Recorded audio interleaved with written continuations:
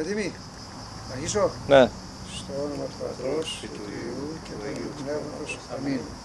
Βασιλεύ ουράνιε παράκλητο, πνεύμα της αληθείας, πατακού παρών και πατά πληρών, ο θησαυρός των αγαθών και ζωής χορηγός, εχθέ και σκήνωσον ημί και καθάρισον ημάς από πάσης κινδύνος και σώσον εχθέ της ψυχάς ημών. Αμήν. Κάτσε, θα πάρεις και αυτά; Α, είχα να τραβήξει. Ε, Καλησπέρα. γεια σου, γεια σου. Καλησπέρα Δημήτρη. Λοιπόν, έχουμε να αναγνώσουμε σήμερα ένα κομμάτι από το λόγο του τελευταίου αυτοκράτορα του Βυζαντίου του Κωνσταντίνου του Παλαιόλο- Παλαιολόγου που έπεσε στις επάλξεις κατά τον αγώνα του 1453 29 Μαΐου όπως τον έχει διασώσει ο Γεώργιος Φραντζής.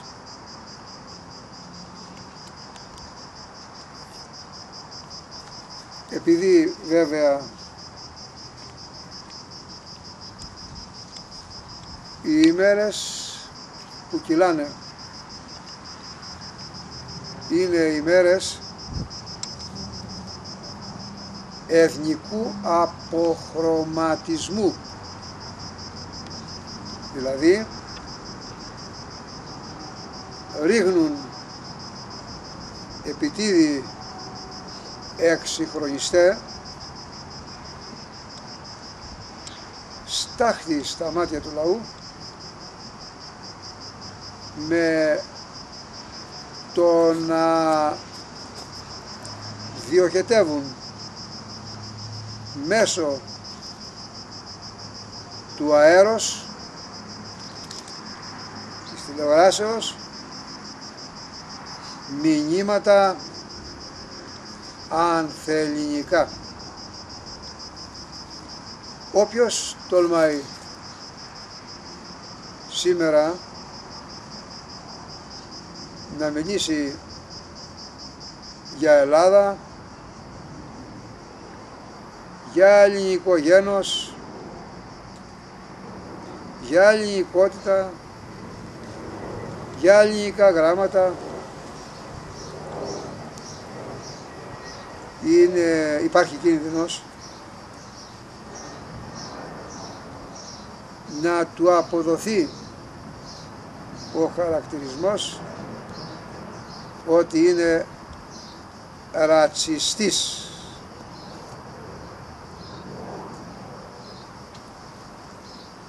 Ό,τι και αν υποθεί, εμείς μνήμονες έχοντας δηλαδή στη μνήμη μας τη μεγάλη προσφορά εκείνων που αγωνίστηκαν για να είμαστε εμείς Έλληνες για να έχουμε την παράδοσή μας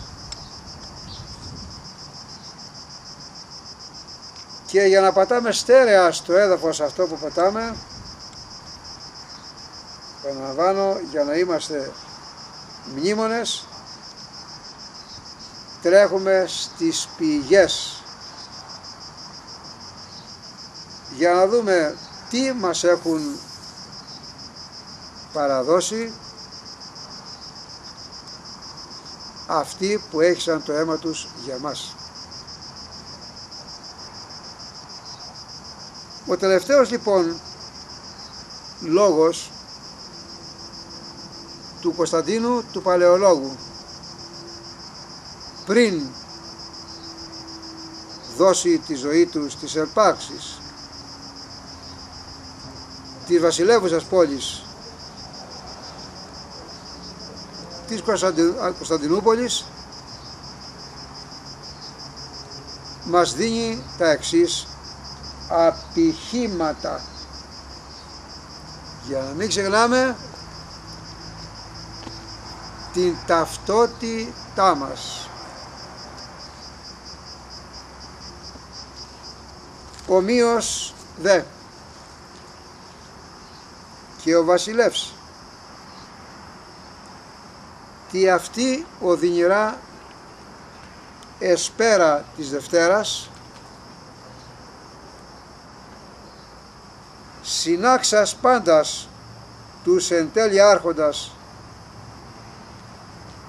και αρχομένους δημάρχους και εκατοντάρχους και εταίρους προκρίτους και στρατιώτας ταύτα έφη. Πιο απλά ο βασιλεύς των Ελλήνων της, της Κωνσταντινούπολης αυτή τη Δευτέρα τη οδυνηρά που ήταν για αυτούς γεμάτη οδύνη και πόνο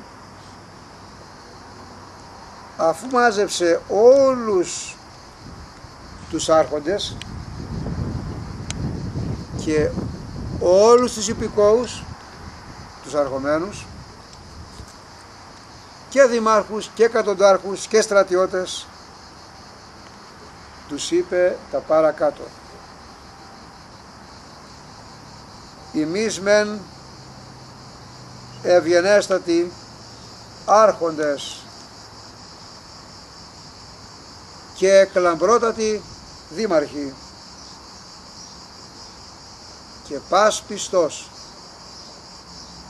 και τίμιος λαός καλώς είδατε ότι έφτασε η ώρα και ο εχθρός ημών βούλεται ή να μεταπάσεις τέχνης και μηχανής και πονηριάς δηλαδή. Ισχυροτέρως στενοχωρήσει μας και πόλεμων σφοδρών. Με τα συμπλοκής μεγάλης και σειράξεως εκ της χέρσου από την ξηρά και θαλάσσης και από τη θάλασσα. Δώσει ημίν με τα πάσης δυνάμεως. Θα διεξαγάγει πόλεμο και από ξηρά και από τη θάλασσα με τα πάσης δυνάμεως με όλη τη δύναμη. Είναι ή δυνατόν ως όφης των ιών εκχύσει και ως λέον ανήμερος καταπίει μας για να μπορέσει να χύσει σαν φίδι το δηλητήριο και σαν λιοντάρι να μας, κατα... να μας κατασπαράξει. Έτσι αντιλαμβανόταν, καταλάβαινε, ζούσε τον εχθρό που έβλεπε να επελάβνει την ημέρα εκείνη 29 Μαΐου 1453 κατά της βασιλεύουσας πόλης κατά της Κωνσταντινούπολης φίδι για να δηλητηριάσει και, και λεοντάρι για να κατασπαράξει. Ήταν ο Μωάμεθ ο δεύτερος ο κατακτητής. Ο οποίος βέβαια πριν επιχειρήσει την έφοδο κατά του Βυζαντίου έστειλε στον αυτοκράτορα γραπτό μήνυμα να παραδώσει την πόλη και να διασωθεί.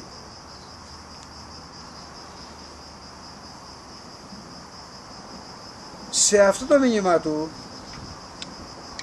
δίνει την απάντηση αυτός ο άρχοντας ο βασιλιάς ο Κωνσταντίνος ο Παλαιολόγος. Και φαίνεται μέσα από αυτό η μεγάλη του αγάπη και ο έρωτας προς τα δικά μας πατροπαράδοτα ιδανικά που εμείς σήμερα οι σύγχρονοι Έλληνες για ένα πιάτο φακί τα έχουμε πουλήσει εν ονόματι της παγκοσμιοποίησης και της ηλικής μας καλοπέρασης. Ας ακούσουμε λοιπόν τι μας στέλνει εδώ και 600 χρόνια ο Κωνσταντίνος ο Παλαιολόγος, ο τελευταίος αυτοκράτορας του Βυζαντίου. Δια τούτο λέγω και παρακαλώ παρακαλώ ημάς ή να στείτε ανδρείος και μεταγενέας ψυχής όπως πάντοτε έως του νυν επιήσατε όπως πάντοτε και τώρα κάνατε μέχρι αυτή τη στιγμή κατά τον εχθρό, κατά τον εχθρό της πίστεως ημών. Θέλω να σταθώ στη τελευταία λέξη. Ονομάζει τον κατακτητή, τον Μωάμεθ, εχθρό της πίστεως ημών, εχθρών της πίστεως μας. Λίγο παραπάνω φίδι και λιοντάρι. Σταθείτε λοιπόν λέει όρθιοι με γενναία ψυχή εναντίον αυτού του εχθρού. Πράγμα που το κάνατε πάντοτε αλλά και τώρα θα το κάνετε. Παραδίδομη δε ημίν την εκλαμπρωτάτην και περίφημον ταύτην πόλην και πατρίδα ημών και βασιλεύουσα των πόλεων. Παραδίνω σε εσάς που με, που με ακούτε την έγκλαμπρωτάτην, την πάρα πολύ λαμπρή και περίφημη αυτή πόλη Παύλα Κωνσταντινούπολη που είναι και πατρίδα μας και που βασιλεύει είναι η βασίλισσα όλων των πόλεων.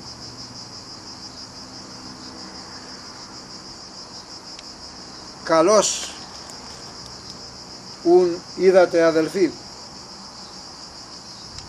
Καλά γνωρίζετε αδέλφια. Καλά γνωρίζετε αδέλφια. Από τότε μέχρι σήμερα δεν θα πάψει να ακούγεται η φωνή του ότι οι συμπολίτες του οι Κωνσταντινούπολίτες ήσαν αδέρφια του ότι δια τέσσερα τεινά οφείλεται κοινός οφειλέται κοινός εσμέν πάντες για τέσσερα πράγματα. Είμαστε όλοι οφειλέτες, χρεώστες. Τέσσερα για τέσσερα πράγματα. Ή να προτιμήσουμε να αποθανεί μάλλον ή ζήν. Να προτιμήσουμε να πεθάνουμε να σκοτωθούμε παρά να ζούμε πρώτον μεν υπέρ της πίστεως ημών πρώτα πρώτα για την πίστη μας και την ευσέβειά μας. Πρώτο λοιπόν για το οποίο είχαν και έχουμε χρέος να αγωνιζόμαστε είπα είχαν οι προπάτορές μας και έχουμε εμείς χρέος να αγωνιζόμαστε είναι το αποθανήν υπέρ της πίστεως ημών. Πρώτο καθήκον είναι να διαφυλάτουμε σαν παρακαταθήκη αιώνια το θησαυρό που λέγεται πίστης. Αγώνας λοιπόν για την πίστη μας και την ευσέβειά μας. Δεύτερον, υπέρ της πατρίδος. Μετά έρχεται η πατρίς που μέσα της έχει και τα άλλα ιδανικά, την οικογένεια, την παιδεία και άλλα πνευματικά αγαθά, επιστήμες, στέγνες κλπ. Δεύτερον λοιπόν υπέρ της πατρίδος. Τρίτον δε υπέρ του βασιλέως Χριστού το Χριστού με κεφαλαία γράμματα. Του βασιλέως ως Χριστού Κυρίου, ως Χριστού Κυρίου ο αυτοκράτορας στο Βυζαντινό κράτος εθεωρείτο και αυτό πίστευαν ότι είναι χρησμένος με Άγιο Μύρο από το Θεό ως βασιλιάς της, της βασιλεύουσας πόλης. Τον, τον είχε χρήσει λοιπόν με Άγιο Μύρο τον Κωνσταντίνο του Παλαιολόγο ο Θεός ως βασιλιά της πόλης και ονομαζόταν Χριστός του Κυρίου. Και τέταρτον να πολεμήσουμε υπέρ των συγγενών και φίλων. Τέσσερα τεινά, τέσσερα πράγματα. Πίστη και ευσέβεια. Δεύτερο, πατρίδα. Τρίτο, για τον βασιλιά που είναι Χριστός του Θεού και Κυρίου μας. Και τέταρτο, τέταρτο συγγενό και φίλο. Λοιπόν αδερφοί, εάν χρεώστε εσμέν αν χρωστάμε υπέρ του ενός των τεσσάρων αγωνίζεστε. Ένα από τα τέσσερα να αγωνιστούμε αν χρωστάμε αγωνιστούμε για ένα από τα τέσσερα έως θανάτου. Πολλό μάλλον υπερπάντων. Πολύ περισσότερο για όλα αυτά. Τέσσερα λοιπόν πράγματα είναι. Εμείς εν ονόματι του Κυρίου του Θεού και Σωτήρος Σιμών πεπίθαμεν δεύτερον δε και τη μετέρης σχεσή και τη ρωμαλαιότητη είναι δωρήσατο ημίν η Θεία Δύναμης. Εμείς θα υψώσουμε ενάντια στο κατακτητή που έρχεται. Αυτά γράφει ο Κωνσταντίνος ο Παλαιολόγος θα υψώσουμε την πίστη μας που έχουμε στο Σωτήρα Χριστό πρώτη και ύστερα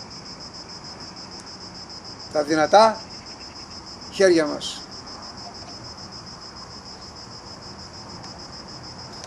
Σίγουρα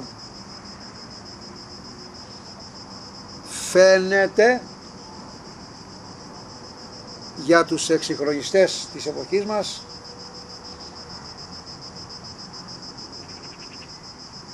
ξεπερασμένο το μήνυμα που στέλνει ο Κωνσταντίνος Παλαιολόγος.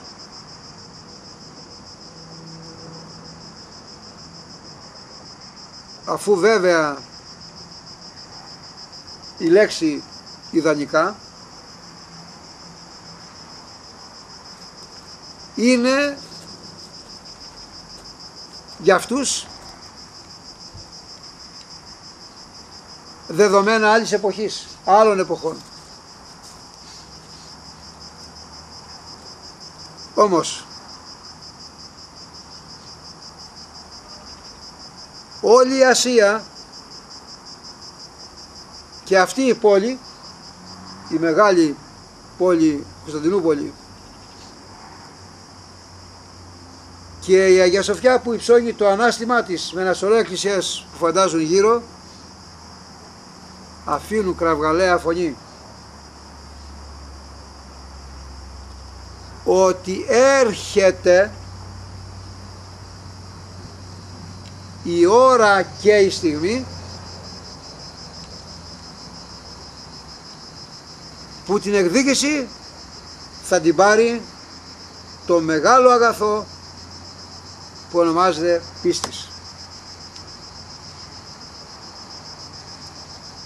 Ξεφυγίζοντας ή μάλλον μελετώντας την Αγία Γραφή στάθηκα με πολύ μεγάλη προσοχή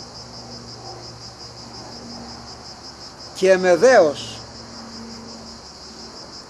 απέναντι σε αυτό που μόλις είπα προηγουμένως τώρα. Λίγο πριν παραδώσει την τελευταία του πνοή και χύσει το αίμα του ο πρώτος μάρτυρας του χριστιανισμού ο πρωτομάρτυρας Στέφανος είπε το εξής τους θύμισε σε αυτούς που τον λιθοβολούσαν ότι είχε υποσχεθεί ο Θεός στον Αβραάμ ότι θα είναι πατριάρχης και μάλιστα αρχηγός ενός λαού. Και ότι ο λαός αυτός που θα γεννηθεί από τον Αβραάμ θα σκλαβωθεί 400 ολόκληρα χρόνια. 400 ολόκληρα χρόνια από ένα άλλο έθνος. Βεβαίως τους Αιγυπτίους. Προσοχή λέει ο Θεός στον Αβραάμ δεν θα πάρετε εσείς με τα χέρια σας την εκδίκηση. Δεν θα μπορέσετε.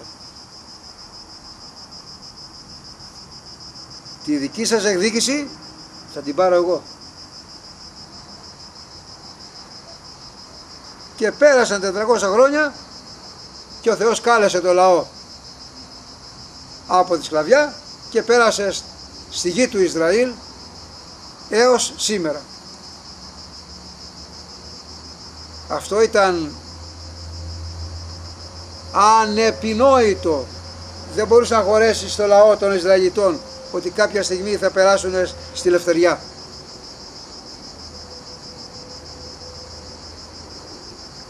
Σήμερα 2.010 χρόνια μετά Χριστόν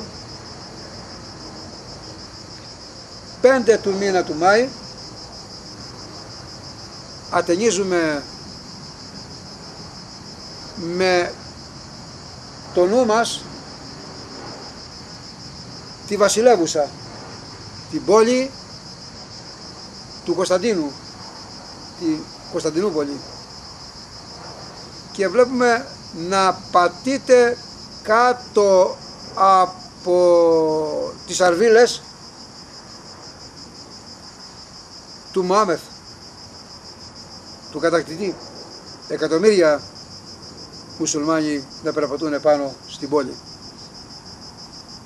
Σίγουρα δεν χωράει σε καμία λογική ότι αυτή η πόλη είναι δυνατόν κάποια στιγμή να περάσει από τα εκατομμύρια χέρια και ποδάρια που είναι εκεί πέρα στην πόλη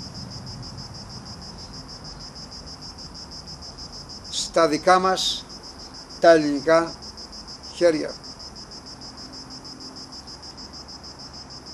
Η ανθρώπινη λογική δεν το χωράει.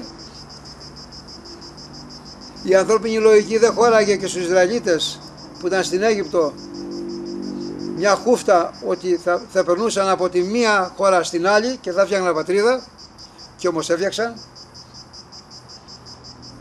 το πως σκέπτεται ο Θεός εμείς δεν μπορούμε να το ελέγξουμε. Τις γαρέγνων νου Κυρίου ποιος γνώρισε το νου του Κυρίου; Και τι σύμβουλος αυτού εγένετο. Και ποιος έγινε σύμβουλος του Κυρίου.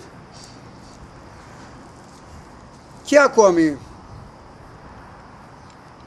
400 ολόκληρα και 50 χρόνια εμείς σαν Έλληνες είμαστε κάτω από τη σκλαβιά και γράφει ο εθνικός μας ποιητής ότι όλα τα βοβέρα και τα πλάκωνε σκλαβιά και δεν μπορούσε κανείς να ορθώσει το ανάστημά του να πει λέξη μπροστά σε ένα βάρβαρο κατακτητή. Ποια λογική θα χωρούσε τότε να σκεφτεί και να πει ότι έρχεται η ημέρα καμία λογική. Κι όμως εμείς αναπνέουμε κι όμως εμείς ζούμε ελεύθερα κι όμως εμείς δημιουργούμε. Γιατί είναι θέλημα Θεού έλεγε ο γέρος του Μοριά που το κλείσαμε στο Παλαμίδι μέσα στη φυλακή γιατί μας έκανε ελεύθερους έλεγε έχει υπογράψει ο Θεός με το αίμα του τη ελευθεριά και δεν παίρνει την υπογραφή πίσω.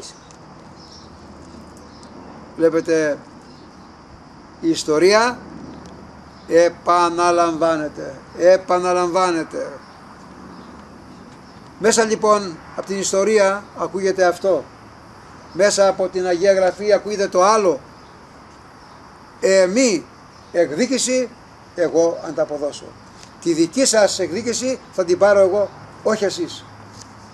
Αυτό είναι το μόνο σίγουρο. Γνωρίζω δε ότι η μυριάριθμος αγέλη των ασεβών η, μυριάρ, η μυριάριθμος αγέλη των ασεβών μιλάει ότι οι Τούρκοι είναι μυριάριθμοι καθώς και η αυτόν συνήθεια ελεύσονται καθημών ελεύσονται καθημών συνεχίζει ο Κωνσταντίνος ο Παλαιολόγος. Με τα βανάυσου και πυρμένης ο φρίος. Θα επιτεθούν εναντίον μας με βάναυση και επιμένει, επιμένει ο φρύς είναι το φρύδι που το σηκώνουμε από εγωισμό επάνω. Ο φρύς επιμένει, σηκωμένο το φρύδι. Θα έρθουν με, με βάναυση συμπεριφορά αλλά και το φρύδι σηκωμένο ψηλά από εγωισμό. Και θάρσους πολλού και βίας. Ή να δια την ολιγότητα ημών θλίψωση για να μας ε, συντρίψουν, μας κάνουν σκόνη επειδή εμείς είμαστε λίγοι.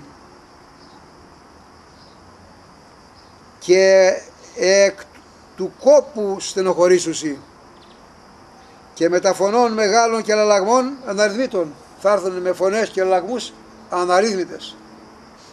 Αυτή η βάναυση, αυτή η βάρβαρη, αυτή η βάνδαλη που γκρέμισαν ένα ολόκληρο πολιτισμό 1130 χρόνια του Ξόντινου Πόλεως. Τα αστιά αυτά σε αυτόν φλιαρίας καλώς είδατε. Ξέρετε ότι αυτές είναι φλιαρίες τους. Και ούχρη λέγει περί τούτων. Δεν χρειάζεται να μιλάμε λέει για αυτές τις φλιαρίες. Και ώρα ο λίγη ταύτα πίσωση. Και μέσα σε λίγη ώρα θα τα κάνουν αυτά που λένε. Και αναριθμοί τους πέτρας και έτερα βέλη ως άμμο θαλασσών άνωθεν ημών πτήσωση. Και θα πετάξουν από πάνω μας αναρρύθμιτα βέλη. Μας θυμίζει αυτή η φράση του Κωνσταντίνου Παλαιολόγου μία άλλη πρόταση που είχε κάνει ένας Πέρσης βασιλιάς που ερχόταν από εκεί για να καταλάβει την Αθήνα εμείς θα πετάξουμε τα βέλη και θα σκεπάσουμε λέει τον ουρανό και θα κρυφτεί ο ήλιος τόσα πολλά βέλη έχουμε και βέβαια ακούστηκε τότε το μολόν λαβέ μολόν λαβέ οι, οι εποχές επαναλαμβάνονται για τους έξυπνους εξυγχρονιστές σε εισαγωγικά μέσα, εξυγχρονιστές εισαγωγικά αυτά θεωρούνται απειρχιωμένα, πεπαλαιωμένα, ξεπερασμένα. Όμως η ιστορία τους διαψεύει και θα τους διαψεύσει. Διόν με αυτά ελπίζω ου βλάψωση δεν θα μας βλάψουν διότι μας θεωρώ και λίαν αγάλωμε και φτιάφτες ελπίσει το λογισμό τρέφομαι. Εγώ λέει αισθάνομαι αγαλίαση και έχω καλές ελπίδες μέσα στο λογισμό μου. Καλές ελπίδες για την πόλη. Ότι ή και ο λίγοι πάνιες μεν, αν και είμαστε πολύ ολίγοι, αν και είμαστε πολύ ολίγοι, προσέξτε αυτό, αλλά πάντες επιδέξει, θα είμαστε όλοι επιδέξει. Και επιτίδη, ρωμαλαίοι και ισχυροί και μεγαλύτερες και καλώς προπαρασκευασμένοι υπάρχετε. Και είσαστε όλοι καλά προετοιμασμένοι.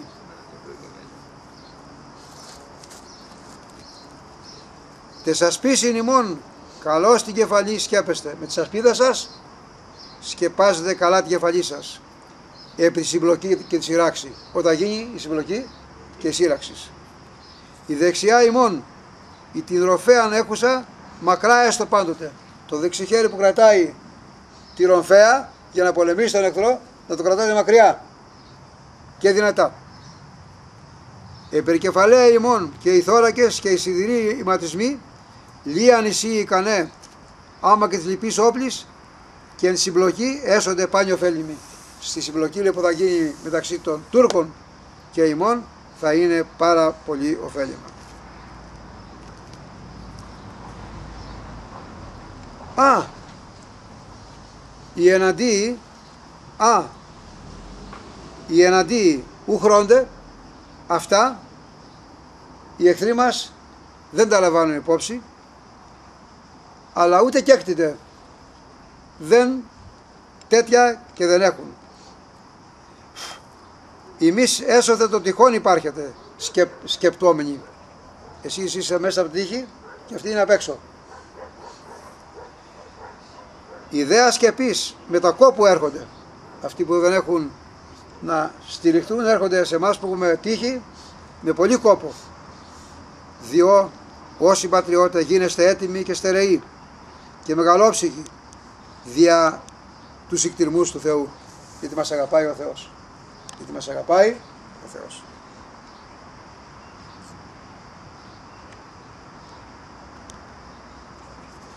επέλτε ημών και ρομφέ ημών τα ακόντια μας και τα όπλα μας και τα τόξα μας προς αυτούς πεμπέτωσαν παρημών ας τα, ας τα ρίχνουμε εναντίον τους. Και ούτως ολογίστητε ως επαγρίων χείρων πληθύν κυνηγίου. Εσείς να έχετε στο μυαλό σας ότι μπροστά σας δεν έχετε ανθρώπους αλλά αγριόχειρους. Αλλά αγριόχειρους που πάτε σαν κυνηγοί να, τα, να, να τους στηρεύσετε η αναγνώσωση είναι η ασεβής ότι ούμε τα αλόγων ζώων ως αυτή εσύ παράταξη έχουση. Να καταλάβουν λέει οι ασεβείς Τούρκοι ότι εμείς δεν είμαστε άλογα ζώα όπως είναι αυτοί και έχουν παραταχθεί σαν άλογα ζώα.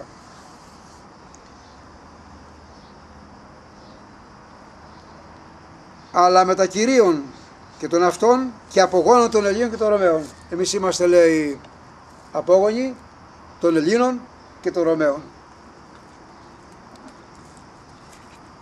Γνωρίζετε καλώς ότι ο δισεβής αυτός αμοιράς και εχθρός της Αγίας ημών πίστεως χωρίς ευλόγου αιτία ως την αγάπη νυν έχουμε έλυσεν. Και τους όρκους αυτού τους πολλούς υθέτησαν αντουδενός λογιζόμενος. Είχε δώσει υπόσχεση να μην επιτεθεί και όμως παρεύει του, τον όρκο του και κάνει την επίθεση. Χωρίς κανένα λόγο. Για ένα και μόνο για να μπορεί κάθε μέρα να βλάπτει εμάς. Τους αγρούς ημών και κήπους και παραδείσους και οίκους ήδη πυριάλου τους επίησεν. Τα σπίτια μας, τους αγρούς, τους κήπους, πυριάλο τους, τους παρέδωσε στη φωτιά, στο πυρ. Τους αδερφούς ημών τους χριστιανούς, όσους ήβρε, εθανάτωσε και εχμαλώτησε. Τη φιλία ανημονέλησε. Τους δε του Γαλατά εφιλίωσε και αυτοί χαίρονται. Μη δότες και αυτοί οι ταλέποροι των του Γεωργού παιδός μύθων του εψύνοντος του κοχλίας και υπόνδος ως ανόητα ζώα και τα εξής. Λέει, ξέχασε λέει του Γεωργού λέει το ε, ανέκδοτο. Ότι έψινε ο Γιώργος λέει τους κοχλίας τα σαλιγκάρια. Και ο Γεωργό, και το σαλιγκάρι ενώ το έψινε τραγουδούσε. Το σαλιγκάρι άμα το ψήσεις τσιρίζει σαν να τραγουδάει. Και το ίδιο κάνετε και εσείς λέει οι άνθρωποι του Γαλατά. Σας έδωσε ορισμένα πράγματα. Βλέπετε να καίγεται το σπίτι του γείτονα και εσείς τραγουδάτε και βλέπετε ότι δεν καεί το σπίτι σας. Τα σπίτια καίγονται. Ερθώνουν αδερφοί, ημάς απέκλεισε. Ήρθε αδέρφια μου, αδέρφια μου και μας ε, περικύκλωσε γύρω γύρω ο κατακτητής. Και καθεκάστην το αχανές αυτού στόμα χάσκον πως έβρι καιρόν επιτίδιον ή να μας καταπιεί. Και την πόλη αυτή ειν ήγηρεν ο Τρισμακάριστος και Μέγας Βασιλεύς την οποία έκτισε ο Τρισμακάριστος και Μέγας Βασιλεύς Κωνσταντίνος και τη Πανάγνο δεσπίνη ημών Θεοτόκο. Και η Παρθένο Μαρία αφιέρωσε αυτή την έξε ο Άγιος Αντίνος και την αφιέρωσε στη Δέσποινα Θεοτόκο μας και η Πάρθενο Μαρία. Εκεί την αφιέρωσε, την Κωνσταντινούπολη. Είναι αφιέρωμα στην Παναγία. Γι' αυτό και σε άλλες επιθέσεις εχθρών η Παναγία πρωτοστατούσε στον αγώνα και υπερμαχούσε τότε που υπερμαχούσε, τότε φτιάχτηκε το περίφημο ότι υπερμάχο στρατηγό τα νικητήρια.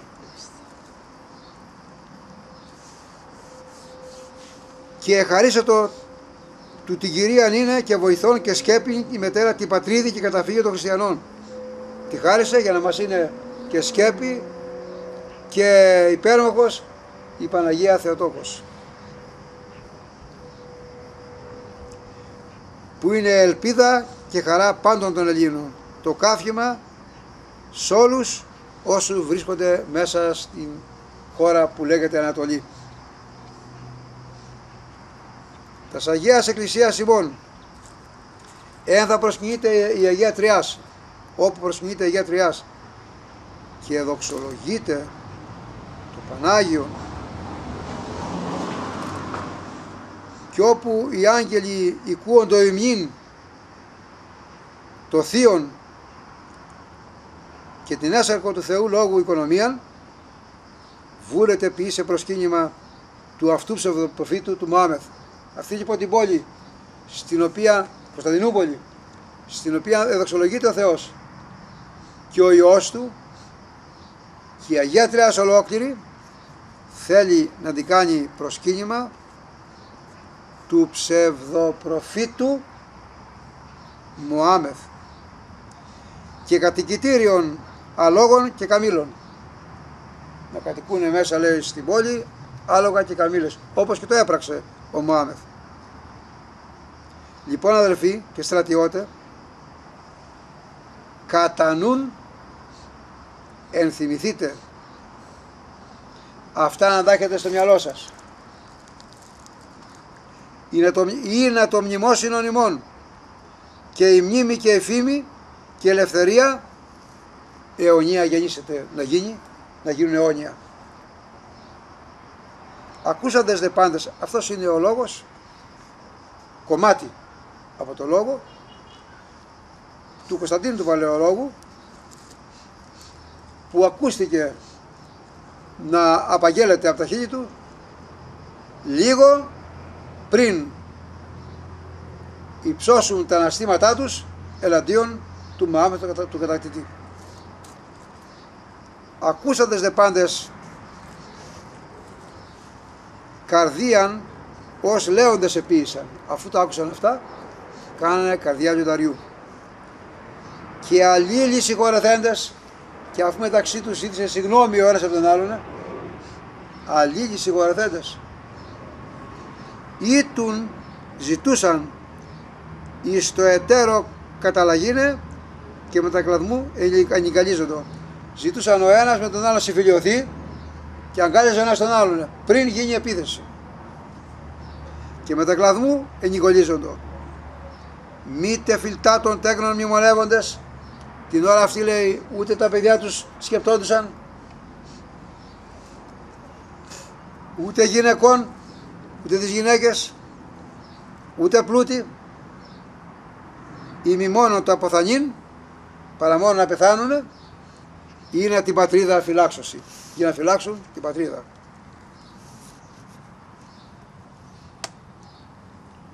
Επαναλαμβάνω, για να τονιστεί ότι αυτό που λέει το γραφικό, η Αγία Γραφή, ότι και οι πέτρες και οι πέτρες με τις οποίες είναι σκεπασμένοι οι πρόγονοί μας που αγωνίστηκαν για τα ιδανικά που προμνημονεύσαμε και οι πέτρες θα κράξουν θα βγάλουν φωνή. Δεν ξέρω αν κάνουν φιδό αν, αν λυπηθούν έστω και κατελάχιστον της κραυγής που θα βγάλουν. Ότι δεν τους θυμήσαμε ότι εμείς σε ένα πολύ μεγάλο ποσοστό έχουμε προδώσει τα ιδανικά τους που είναι και δικά μας ιδανικά και έχουμε, τα έχουμε προδώσει. Εν ονόματι του χρήματος εν ονόματι των υλικών αγαθών. Εν ονόματι των υλικών αγαθών.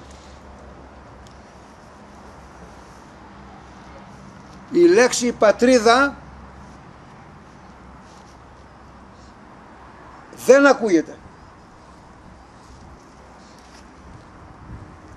Η λέξη ιδανικά έχουν έχεις σβηστεί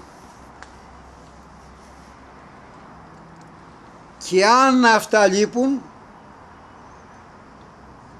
ο άνθρωπος είναι πεθαμένος και εν ζωή ηλική όν και όταν ακόμα είναι σε, στη ζωή αυτή υλικά επάνω.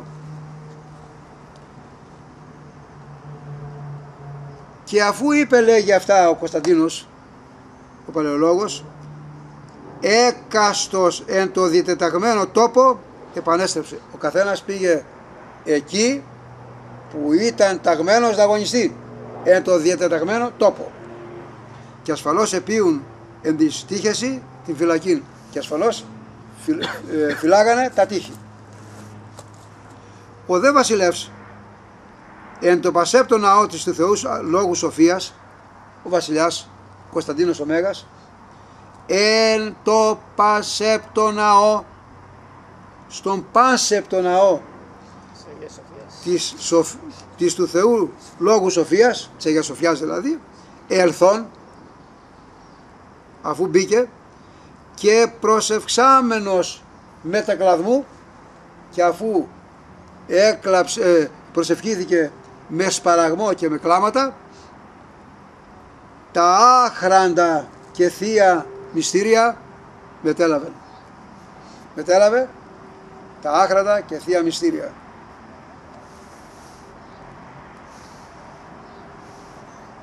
Θέλω αυτό το τελευταίο να το δώσω στους συμπατριώτες μας να το προσέξουν ιδιαιτέρως. Ελθόν και προσευξάμενος μετακλαδμού μπήκε στο ναό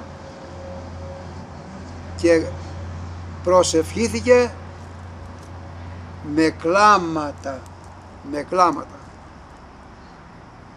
Και κοινώνησε τα άχρατα μυστήρια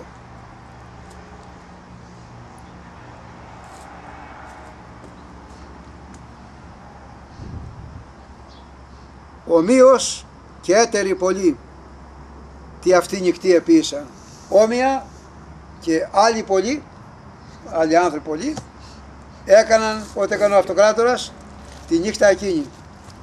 Προσευχή και μετάληψη των αχράντων μυστηρίων. Θέλω να τονίσω με αυτό θέλω να τονίσω με αυτό που αναγνώσαμε τώρα και που έχουμε την εικόνα μπροστά μας της Αγίας Πόλης της Κωνσταντινούπολης και στη μνήμη μας επάνω επί των επάρξεων του Κωνσταντίνου τον Αυτοκράτορα, τον Παλαιολόγο και τους φύλακες να φρουρούν, να φρουρούν τις ερμοπύλες, τα τείχη δηλαδή, τα τείχη της πόλεως, να μην περάσει ο εχθρός.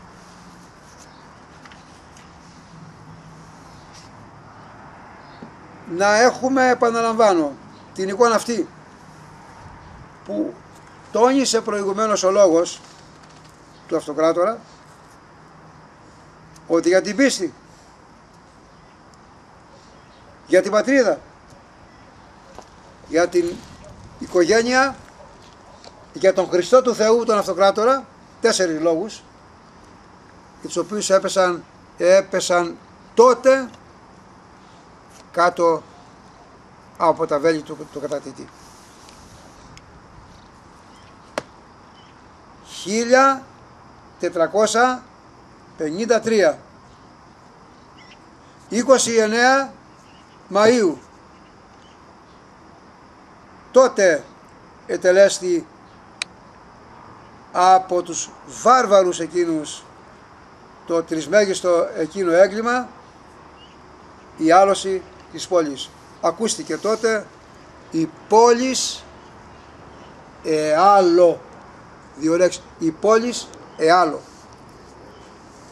Βέβαια η παράδοση αναφέρει ότι εάλο η πόλης έπεσε η πόλη γιατί υπήρχε, υπήρχε πρόδοτης. Άνοιξε λέει την κεκρόπορτα και πέρασαν μέσα οι Τούρκοι. Κανένα αγαθό από όσα έχουμε εμείς οι άνθρωποι δεν εχμαλωτίζεται από τον εχθρό μας δεν πέφτει στα χέρια του εχθρού κανένα αγαθό εάν εμείς από μέσα μας δεν το προδώσουμε και δεν το παραδώσουμε στον εχθρό. Πέρασαν τις Ερμοπύλες οι Πέρσες αλλά υπήρχε ο πύλιος Γούσης ο, εφ, ο εφιάλτης από πίσω ο εφιάλτης από πίσω που α, τους οδήγησε να περάσουν μέσα και να φτάσουν μέχρι την Αθήνα περίπου. Μέχρι την Αθήνα. Αν δεν υπήρχε ο προδότης δεν περνάγανε η ιστορία αυτά τα τέρατα που λέγονται προδότες των ιερών της φυλής μας τους μνημονεύει με μαύρα γράμματα. Μην ξεχνάμε ότι και στο μεγάλο μοναδικό στην ιστορία έγκλημα στην ιστορία έγκλημα το, το μοναδικό δεν υπάρχει άλλο στη Σταύρωση του Κυρίου και εκεί πάλι η προδότηση υπάρχει από τους 12 μέσα ο ένας παρέδωσε τον Κύριο μνημονεύει η γραφή εισελθόν ο σατανάς στον Ιούδα τον πρόδωσε Μπήκε ο Σατανάς στον Εφιάλτη, παράδοσε, θα παράδει την Ελλάδα ολόκληρη στους Πέρσες. Μπήκε ο Σατανάς στην πόλη και εκεί βρέθηκαν οι προδότες και μπήκαν μέσα οι Τούρκοι. Θέλω να μνημονεύσω τη στιγμή αυτή τον γέροντα Παΐσιο δύο φορές. Ο Γέρο Παΐσιος ήταν από τα Ιερά Χώματα της Ανατολής, τη Μικρά Ασία, η καταγωγή του. Και ο νουνός του, ο Άγιος Αρσένιος, και αυτός από την, καταγωγή, από την Μικρά Ασία. Είχε αφήσει, γράφει ο Πατέρ Παΐσιος, είχε αφήσει ο, ο Άγιος Αρσένιος, είναι Άγιος της Εκκλησίας ο Άγιος Αρσένιος, ο νουνός του Πατρός Παϊσίου, ένα τετράδιο που έγραφε μέσα και υπάρχει το τετράδιο αυτό ότι η πόλη αυτή που σήμερα είναι στα χέρια των Τούρκων θα έρθει στα δικά μας χέρια. Το πότε το ξέρει ο Θεός. Το ξέρει ο Θεός. Εγώ προσωπικά είχα βρεθεί μαζί με κάποιον άλλο συνοδοιπόρο μου στο Άγιον Όρος και ακούσαμε με τα χείλη Παϊσίου αυτό το μεγάλο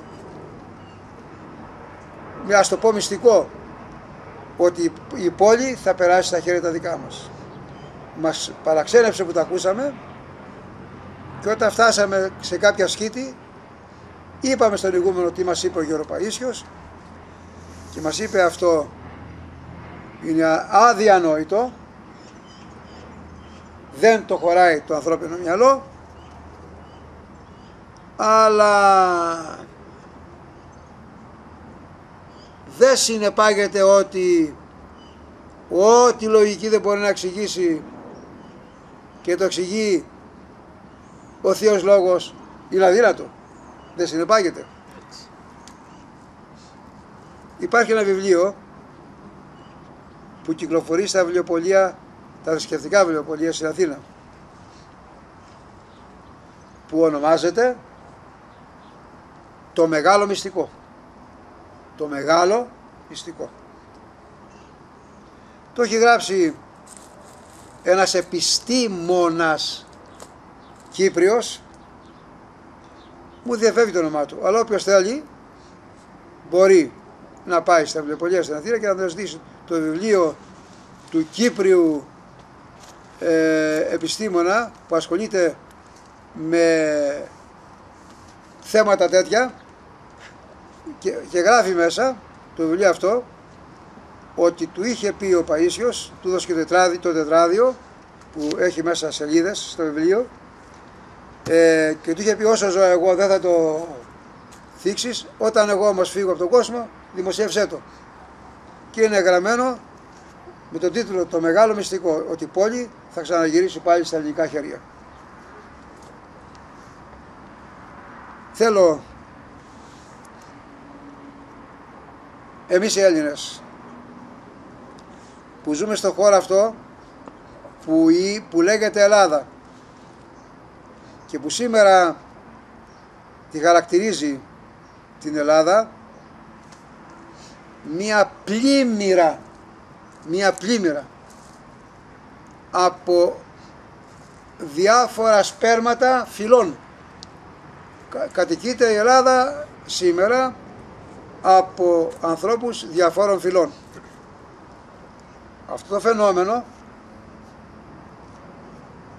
της συγκατοικήσεως δεν είναι φαινόμενο μόνο της παρούσης περίοδου. Η ιστορία έχει να μας αναφέρει και άλλες περιόδους τέτοιες και στην πόλη και αλλού να κατοικούν διάφορες φυλές. Να έχουμε υπόψη μας ότι υπάρχει ένα ανακάτεμα ιδεών ανακάτεμα ιδεών αυτό το ανακάτεμα ιδεών υπάρχει ένα αόρατο χέρι που το προβιβάζει, το φέρνει κοντά, πολύ κοντά μας έως και μέσα μας, μέσω της τηλεοράσεως. Το ανακάτεμα των ιδεών που λέγεται συγκριτισμός. Συγκριτισμός. Γι' αυτό βλέπουμε παράδειγμα χάρη σαν απότοκο, δηλαδή σαν παιδί αυτή της πανσπερμίας που την δημιούργησαν οι έξιμοι της εποχής μας η μορφωμένη σε εισαγωγικά της εποχής μας αυτό το ανακάτωμα των ιδεών έχει σαν απότοκο, σαν γέννημα, σαν παιδί το εξής. Ε, να έχουμε μία γλώσσα μία γλώσσα, το ξαναλέω άλλη μια φορά, μία γλώσσα με ένα χαρακτηρισμό γραμμάτων. Το «η» παραδείγματος είναι το «ι» παντού, σε όλες τις γλώσσες.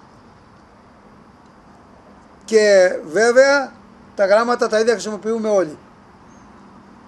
Ώστε να μην υπάρχει η πολυμορφία της γλώσσης που παρατηρείται μέσα στο ιστορικό γίνεστε του κόσμου. Να υπάρχει ε, μία γλώσσα, αυτή η γλώσσα η λατινική.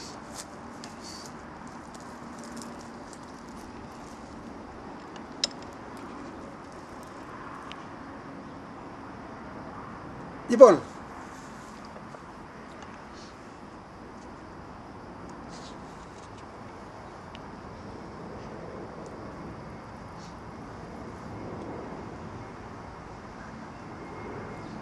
οι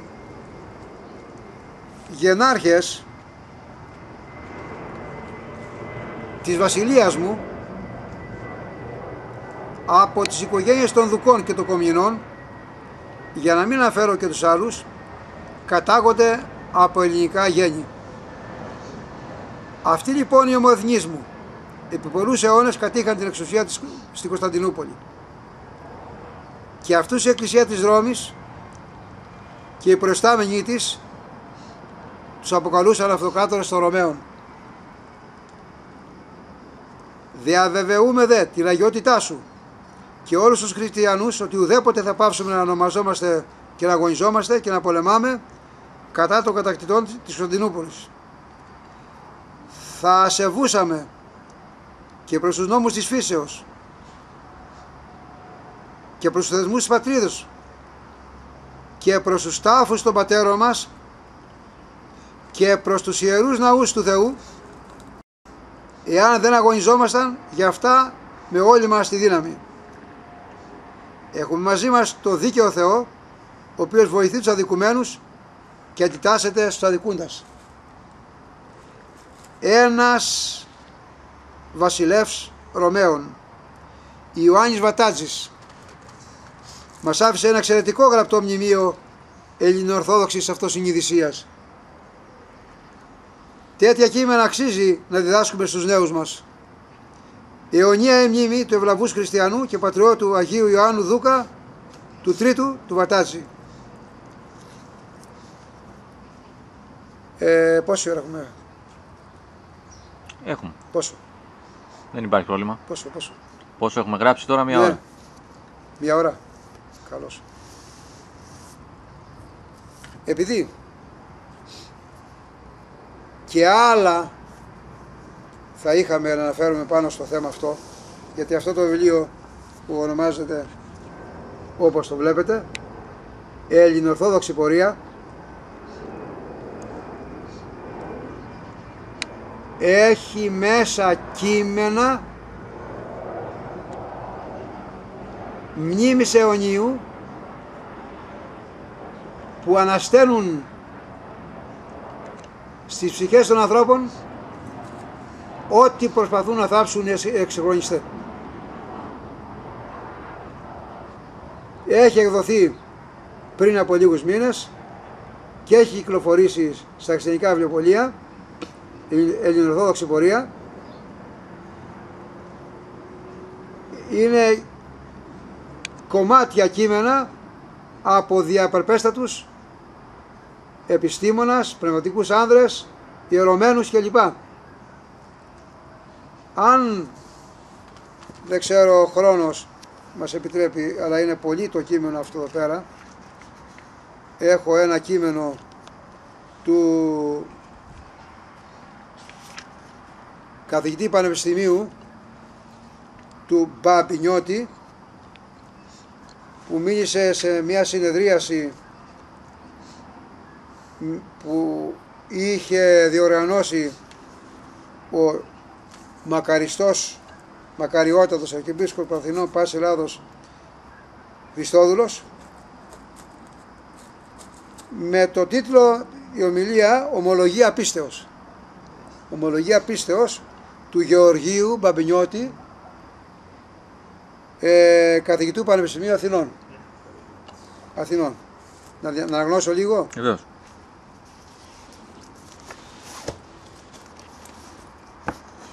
Μακαριότατε Αρχιεπίσκοπε Αθηνών και Πάσης Ελλάδος.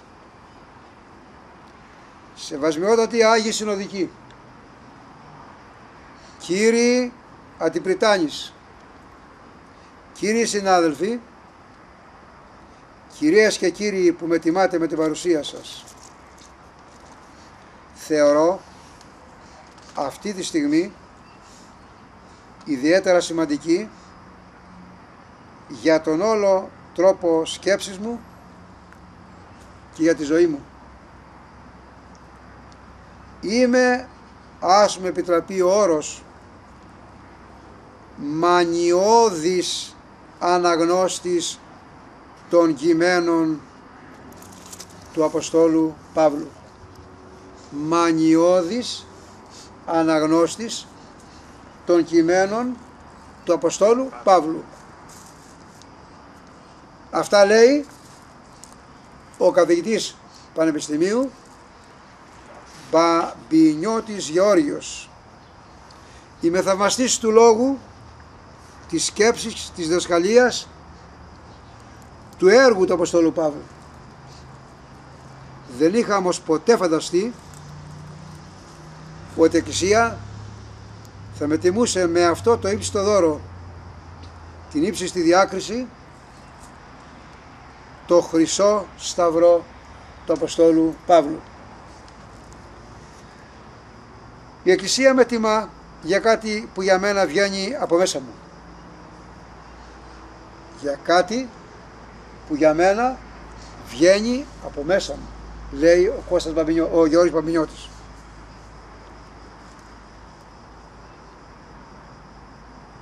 Γιατί λειτουργώ σαν ένα πιστό ενεργό μέλος της Εκκλησίας. Τα ακούμε; Τα ακούμε, λέω, να τα, να τα ακούσουμε. Ενεργό πιστό μέλος της Εκκλησίας. Ενεργό, όχι ενεργητό. Προχωρώ. Γιατί έχω μία ανάμειξη με τα θέματα των Οτάτων Επιστημονικού Συμβουλίου των Ανωτάτων Εκκλησιαστικών Ακαδημιών. Πιστεύω ότι πρέπει να στρατευθούμε για μορφωμένους ιερείς. Και τέλος για την ομολογία της πίστεως την οποία σε πάρα πολλές ευκαιρίες σε ανύποπτο χρόνο πάλι από μέσα μου έχω δημόσια κάνει. Τα ακούμε; Τι λέει ο Γιώργος Παμπινιώτης. Έχω κάνει δημόσια την ομολογία της πίστης μου. Όχι κρυφά, πως, λένε, πως λέει ο πολλής κόσμος, εγώ έχω μέσα μου τον Χριστό, δεν το δείχνω έξω. Εδώ, μέλος, το Θεό τον έχω μέσα. μέλος της Ελλάδας Πανεπιστημίου, λέει δημόσια το εκδηλώνω. Θεωρώ και το λέω στους φοιτητές μου γιατί ίσως εκεί είναι ο χώρος που πρέπει κανείς να αρθρώσει αυτό το λόγο ότι τρεπόμαστε οι μορφωμένοι οι πανεπιστημιακοί οι πνευματικοί άνδρες και γυναίκες ντρεπόμαστε να ομολογήσουμε την πίστη μας ενώ ομολογούμε τις ποδοσφαιρικές ομάδες. Στις οποίες ανήκουμε. Τα πολιτικά μας κόμματα στα οποία ανήκουμε. Τις, τις εταιρείες της πόλης της καταγωγής μας. Ομολογούμε τα πάντα εκτός από μία και κύρια ομολογία που είναι η ομολογία της πίστεως. Σε όλα τα άλλα κάνουμε ομολογία, μόνο στην ομολογία της πίστεως λέγει ο Γεώργης Μπαμπινιώτης δεν κάνουμε κανένα λόγο. Και θέλησα όχι απλώς να λέω λόγια, αλλά με το παράδειγμά μου σε βήματα δημόσια από την τηλεόραση μέχρι το επίσημο βήμα της Πριτανίας να διακηρύξω αυτό που προσωπικά αισθάνομαι. Επαναλαμβάνω, αυτό είναι πολύ σπουδαίο. Θέλησα όχι απλώς να λέω λόγια, αλλά με το παράδειγμά μου, σε βήματα δημόσια, από την τηλεόραση μέχρι το επίσημο βήμα της Πριτανίας του Πανεπιστημίου Αθηνών, να διακηρύξω αυτό που προσωπικά αισθάνομαι την πίστη μου. Την πίστη μου στο Θεό και την εκτίμησή μου στο έργο της Εκκλησίας. Την πίστη μου σε ό,τι δίνει μέσα μου, μέσα, σε ό,τι δίνει μέσα από τη δασκαλία του Χριστού η Εκκλησία μας. Και θα ήθελα τη στιγμή αυτή που είναι ένας απολογισμός ευθύνης και ζωής να πω ότι όσο περισσότερο προκόπτω να χρησιμοποιήσω αυτό τον όρο τον Ευαγγελικό εν ηλικία όσο περισσότερο προκόπτω εν ηλικία εν σοφία γνώσεων και στην ηλικία και, και στη σοφία των γνώσεων και εν παιδεία εν αυτογνωσία τόσο περισσότερο συνειδητοποιώ την αδυναμία μου, την άγνοιά μου, το πεπερασμένο. Αν ο Μπαμπινιώτης τα λέει αυτά, οι υπόλοιποι είμαστε για... Και το μόνο που αναγνωρίζω είναι αυτή η σχέση μου με το Θεό. Το μόνο που αναγνωρίζω είναι αυτή η σχέση με το Θεό, τον τριαδικό Θεό μας. Μέσα από το πνεύμα αυτό που κατεξοχήν προέβαλε ο Απόστολος Παύλος, μέσα από το πνεύμα που μας ενώνει με το Θεό και μας κάνει να αισθανόμαστε όλοι μικροί Θεοί.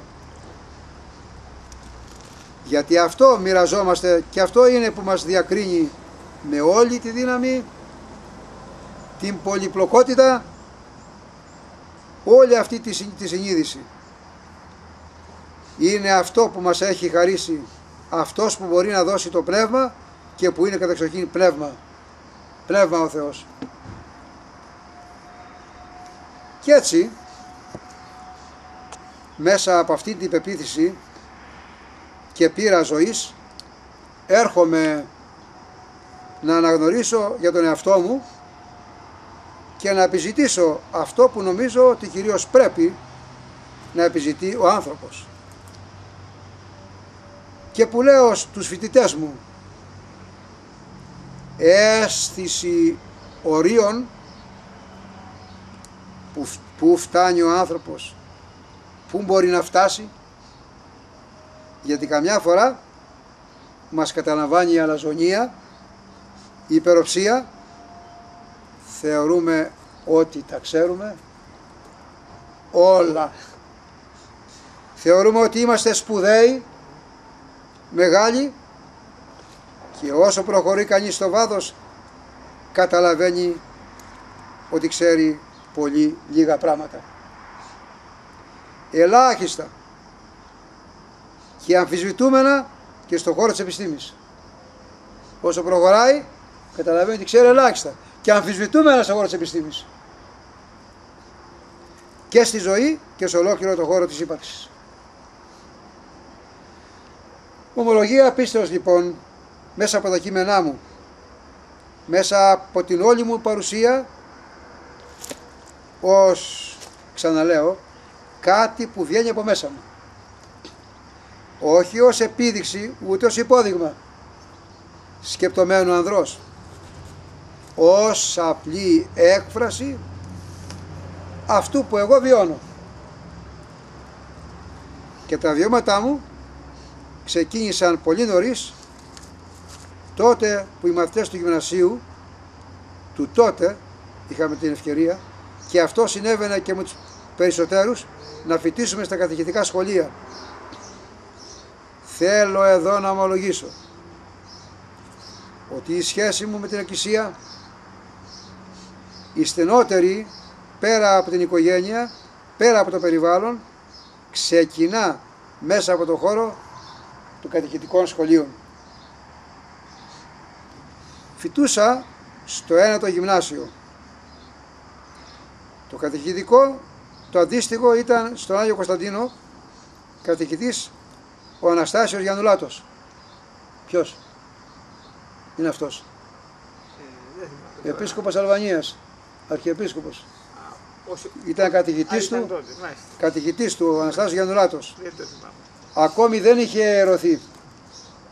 Ένα νέο παιδί τότε που έλαμπε, που είχε ένα πιστικό λόγο, δυνατό λόγο που μας συνέπαιρνε και μας έφερνε κοντά.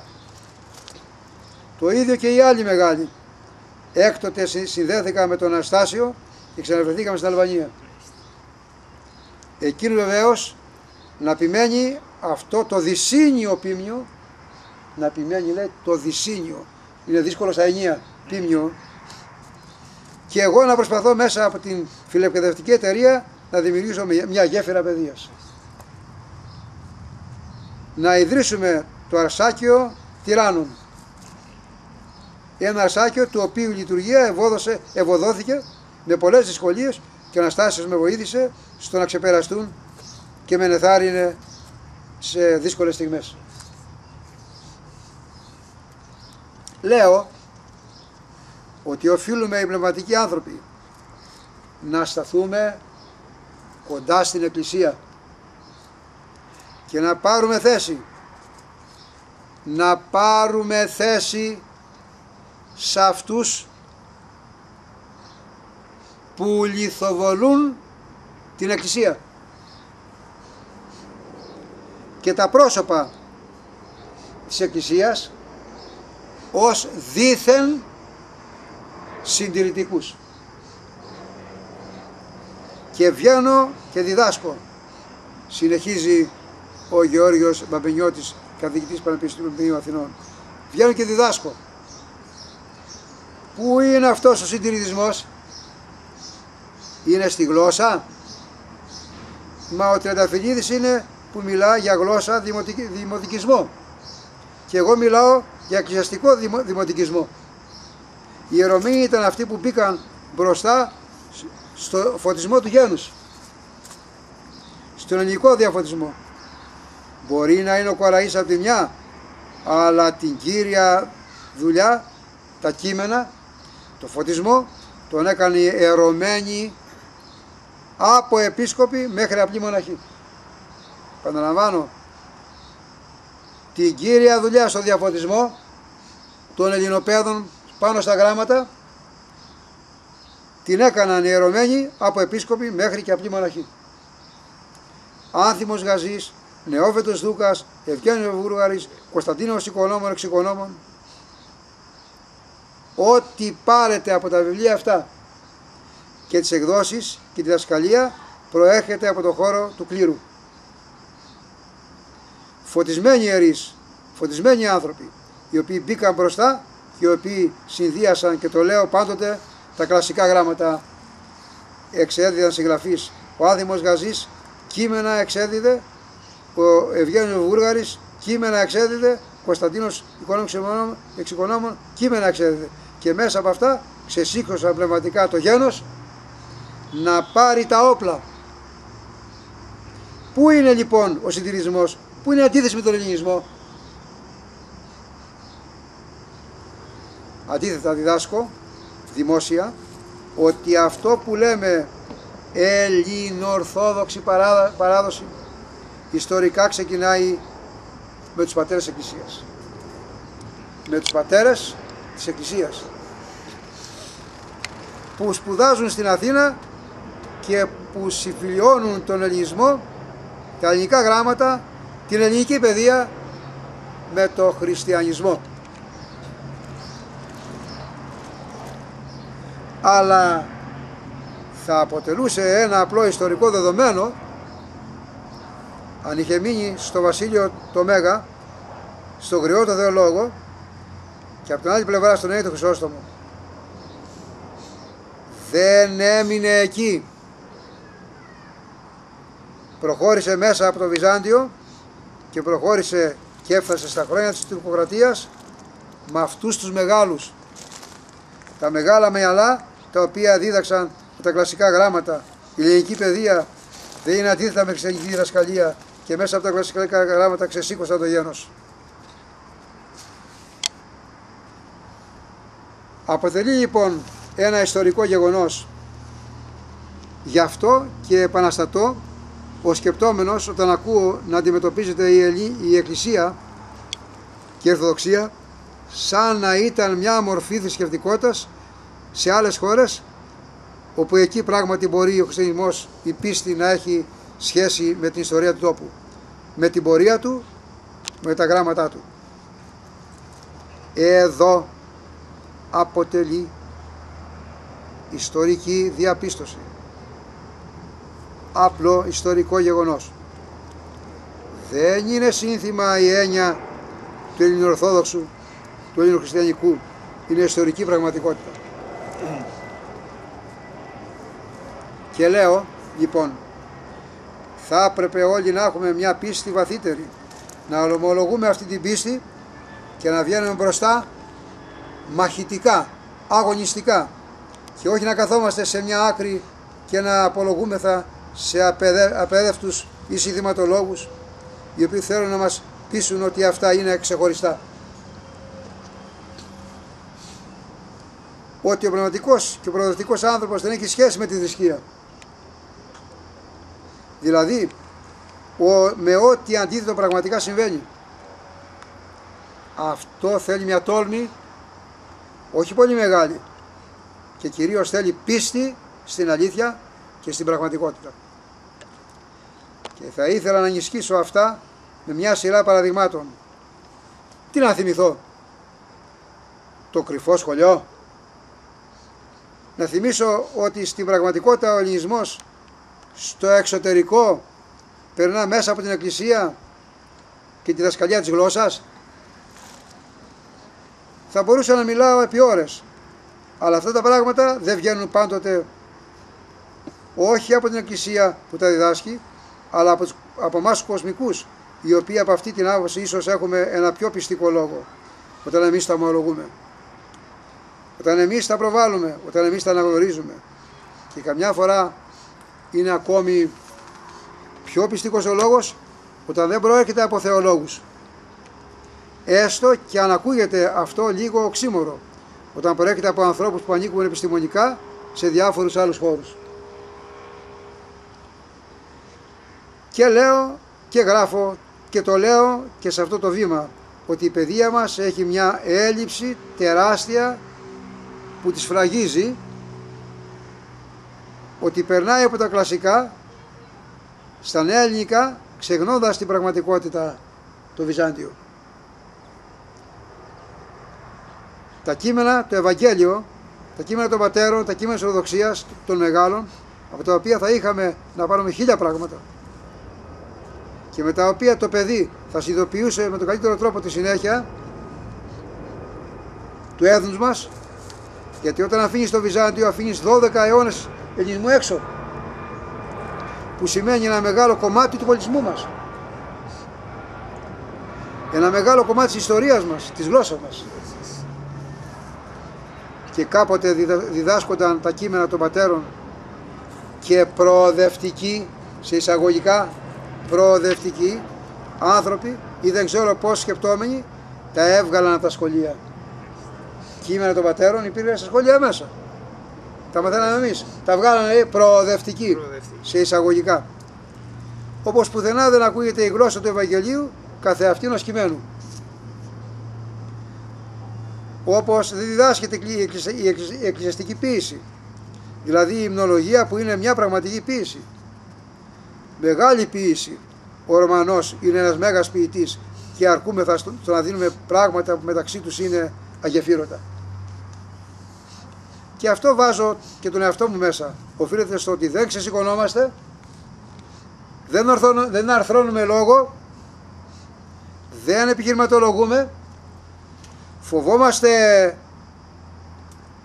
πολύ, καθόμαστε στην άκρη. Αντί να βγάλουμε μπροστά, αντί να βγαίνουμε μπροστά και να στηρίξουμε αυτά τα πράγματα, καθόμαστε στην άκρη. Όταν είχα την ευθύνη του Παιδαγωγικού Ινστιτούτου, είχαν φύγει τότε τα αρχαία από τα σχολεία. Φέραμε λοιπόν τότε μία νέα σειρά βιβλίων για τις τρεις τάξεις του γυμνασίου. Όταν ήταν ο Παβενιώτης στο Παιδαγωγικό Ινστιτούτο. Τι κάναμε, με αυτό που λέει ο Σεφέρης, τα παλαιότερα ελληνικά μας δίναμε την λόγια παράδοση, βυζαντινά κείμενα, εκκλησιαστικά κείμενα, πατέρες και αρχαία κείμενα, διαλεγμένα όλα έτσι που να διαβάζονται, να κατανοούνται. Φεύγαμε από τον πολύ φορμαλισμό με τις χίλιες εξαιρέσεις και μέναμε στις βασικές δομές της γλώσσας. Είναι κρίμα που αργότερα αυτά άρχισαν και έφυγαν. Άλλοι που ήρθανε τα πετάξανε από την εκπαίδευση. Γιατί πρώτον δεν μπορούσαν εύκολα να τα διδάξουν εκπαιδευτικοί. Και δεύτερον, διότι δεν πίστευε η ηγεσία, η πολιτική και η εκπαιδευτική. Δεν τα πίστευε να διδαχτούν τα κείμενα εκείνα. Ότι πρέπει να υπάρχει αυτή η άμεση επαφή του μαθητή με τα παλαιότερα ελληνικά μας. Πρέπει να υπάρχει. Δεν το πίστευε αυτό η πολιτική ηγεσία, ούτε η εκπαιδευτική.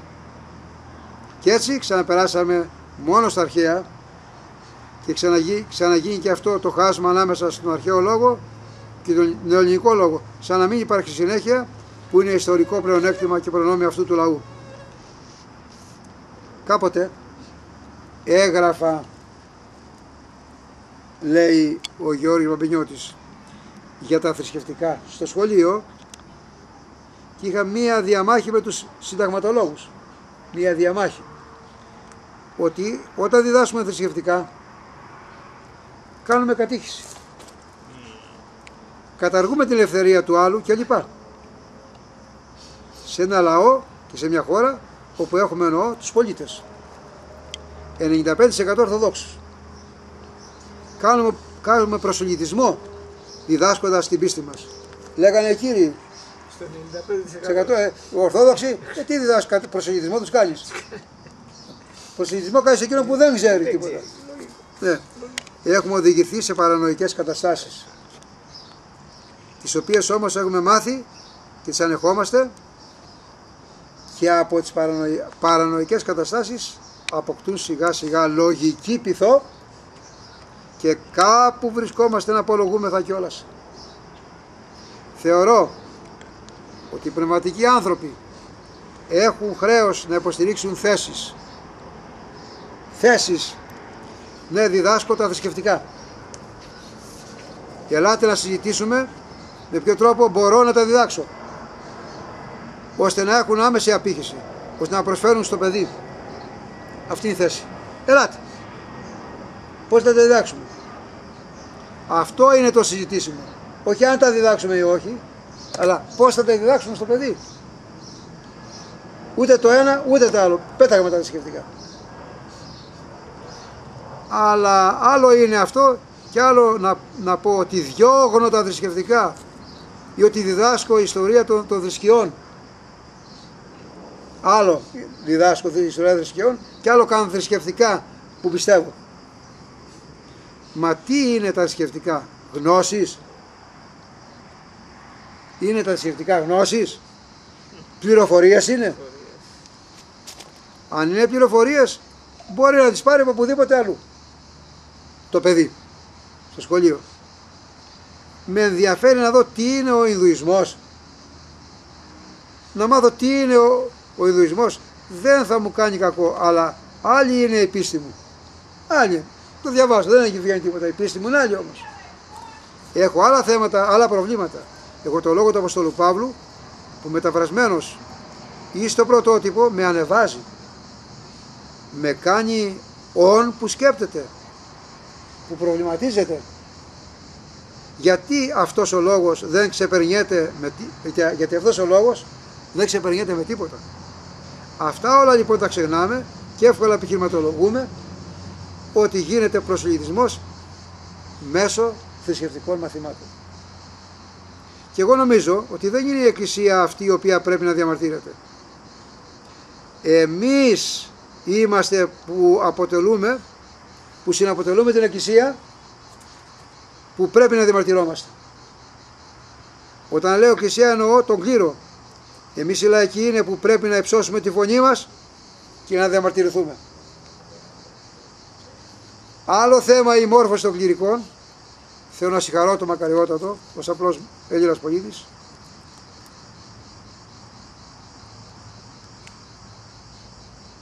Που αποφάσισε να ιδρυθούν ο Μακαριώτας ανώτατες σκηστικές ακαδημίες, να περάσει η μόρφωση των κληρικών στα πανεπιστήμια, πέρασαν στα πανεπιστήμια κτλ. όπως και άλλες εκνώσεις. Η Εκκλησία, ο λόγος αυτός από τον οποίο εξαρτάται η ζωή μας, είναι η ύπαρξή μας. Δεν μπορεί να αναμορφωθεί, να ανεβεί σε επίπεδο, σε επίπεδο. Και θέλω να πω δημόσια ότι οι παριστάμενοι εδώ αντιπριτάνης, κύριος Ασημακόπουλος, ο κύριος Κίτας, που είναι και οι νέες πριτανικές αρχές, ο κύριος Κίτας είναι ο νέος πρίτανης του Πανεπιστημίου. Και Ο κύριος Μακόπουλος είναι πάλι αντιπρίτανης του Πανεπιστημίου. Και ο Απόν Δερμητσάκη, εμείς ως Πανεπιστήμιο Αθηνών, κρατήσαμε τα άλλα πανεπιστήμια να μην διαμαρτύρονται.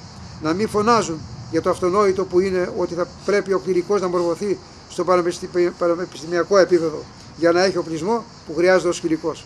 Σήμερα με τα καθημερινά δεδομένα, με την κατάσταση της, της παιδείας μας. Να τελειώνω. Δεν θα κρατήσω άλλο ούτε την Ιερά Σύνοδο που έχει κουραστεί συνεδριάζοντας από το πρωί ούτε όλους όσοι με τιμούν με την παρουσία τους. Θα ήθελα πραγματικά και όχι τυπικά να εκφράσω τις βαθύτατες ευχαριστίες μου, την ονομοσύνη μου στον Αρχιεπίσκοπο Αθηνών και Πασελάδος, με τον οποίο μας συνδέει μια συμπόρευση σε κοινούς στόχους. Από το δικό του στόμα ακούγονται πράγματα που χωρίς να έχουμε προσυνοηθεί από άλλη εδώ βγαίνουν και από το δικό μου στόμα. Το πιο ταπεινό, το πιο ειδικό. Όμως βλέπω ότι έχουμε τους ίδιους στόχους. Και αυτή η παρησία με την οποία μιλάει ο Επίσκοπος για θέματα που ασχολούν την κοινωνία είναι κάτι το οποίο χρειάζεται ο λαός. Τον εμψυχώνει σε διάφορες στιγμές αδυναμίας και ακούγεται επιτέλους ο λόγος Εκκλησίας. Ο οποίος βεβαίως δεν είναι μόνο αρχιεπισκόπου, είναι των ιεραρχών. Εγώ λέω πάντοτε και εκτός Ελλάδος και εντός Ελλάδος ότι έχουμε την ευλογία να υπάρχουν σήμερα στις τάξεις ιεραρχίας προσωπικότητες οι οποίες τιμούν την Εκκλησία. Την πίστη μας, τιμούν το πνεύμα, τιμούν όλο το, όλο το λειτουργήμα. Ανταυτού ξεχωρίζουμε μια-δυο περιπτώσεις για να βάλουμε και να πετάμε, και, για να βάλουμε και να πετάμε λάσπη. Αντί να βλέπουμε τα, τα άλλα πρότυπα που ανεβάζουν την Εκκλησία, την πίστη μας και, εμά, και εμάς τους ιδίους. Μακαριότατε, θερμότατες ευχαριστίες για την τιμή που μου κάνετε σήμερα και θερμότατες ευχαριστίες προς ένα έκαστο το μελών της Ελλάς Συνόδου, εκλεκτές προσωπικότητες που με τιμούν με την αποφασή τους. Θα ήθελα να ευχαριστήσω ένα συνάδελφο με ιστορία στα γράμματα, με ιστορία στην τέχνη, με ιστορία στα θέματα θρησκείας, τον καθηγητή Νίκο Ζία, με πολύ αγάπη αντιμετώπισε την προσπάθειά μου, το έργο μου και εμνήστη ημερών αρχαίων που μαζί κάναμε τα πρώτα βήματα ψάλλοντας και όντας κοντά στην εκκλησία. Τον ευχαριστώ μέσα την καρδιά μου. Θέλω να ευχαριστήσω τους κυρίους και τις κυρίες φίλους, συναδέλφους, όλο τον κόσμο που με τιμά με την παρουσία του. Νομίζω ότι σε τέτοιες στιγμές η παρουσία είναι και πνευματική συμπαράσταση και πνευματική συμπόρευση και συστράτευση. Έχει και ένα άλλο σύμβολο, συμβολικό χαρακτήρα που ξεπερνά τα όρια μας, τα όρια μιας απλής τυπικής παρουσίας. Μακριότητα την ευχή σας, Άγιο Πατέρα την ευχή σας. Ευχαριστώ πολύ. Τέλο. Ευχαριστώ για σήμερα.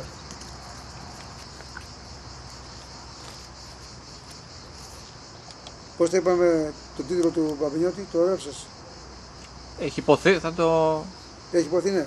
ξανακοιτάξω εγώ πίσω. Τώρα και να το δω εδώ. Για να το δω το τι που είναι εδώ.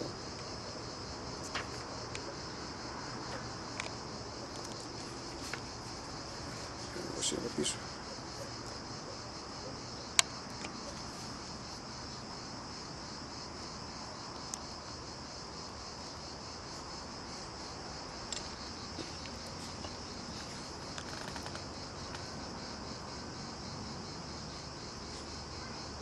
Δεν το βρίσκω τώρα. Ε,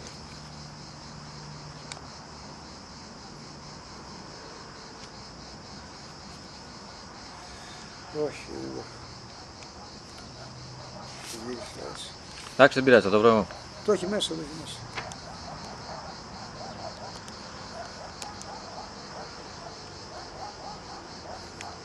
Το βρεις εσύ, αλλά πρέπει να το βρω κι εγώ.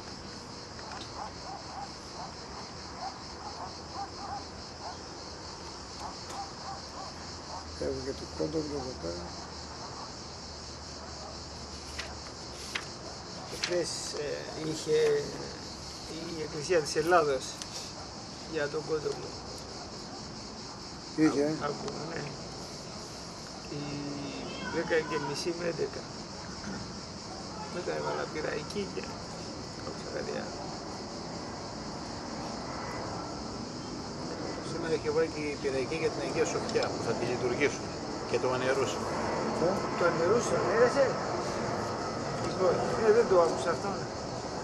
Να νερώσει ποιος; Ότι θα Ότι θα λειτουργήσει λειτουργήσει. τις μέρες μας η Αγία Σοφιά. Μάλιστα. Στην Κωνσταντινούπολη. Ναι, με ποια λογική το ανερώσει, δεν το καταλαβαίνω. Όχι, η εκκλησία. Εγώ δεν το άκουσα πάλι. Την πυραϊκή. Ότι αμφισβητούν τις προφητείες, Ναι, υπό αυτή την έννοια;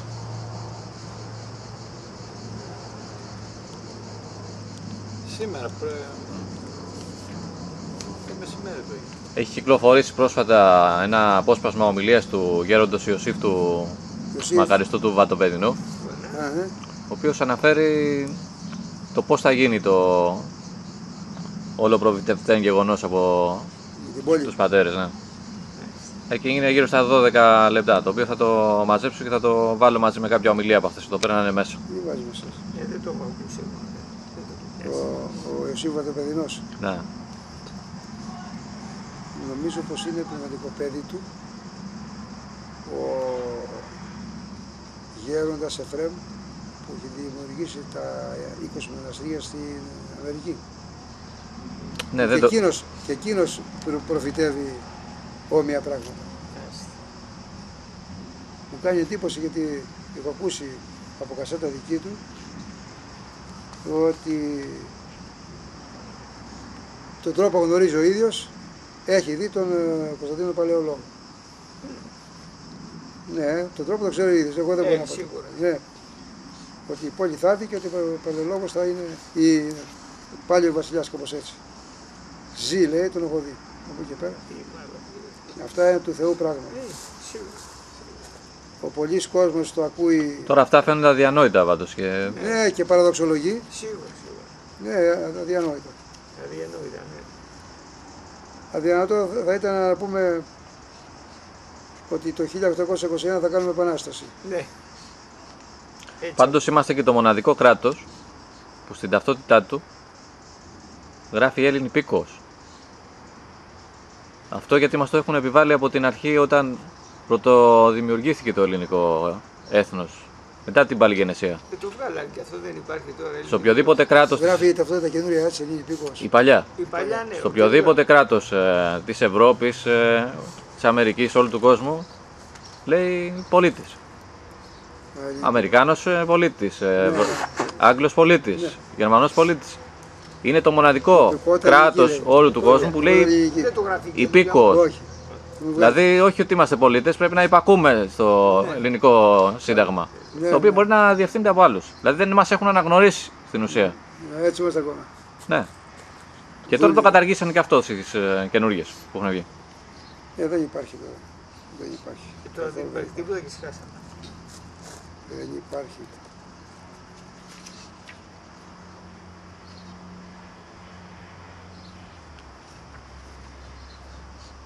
Είναι αυτός ο-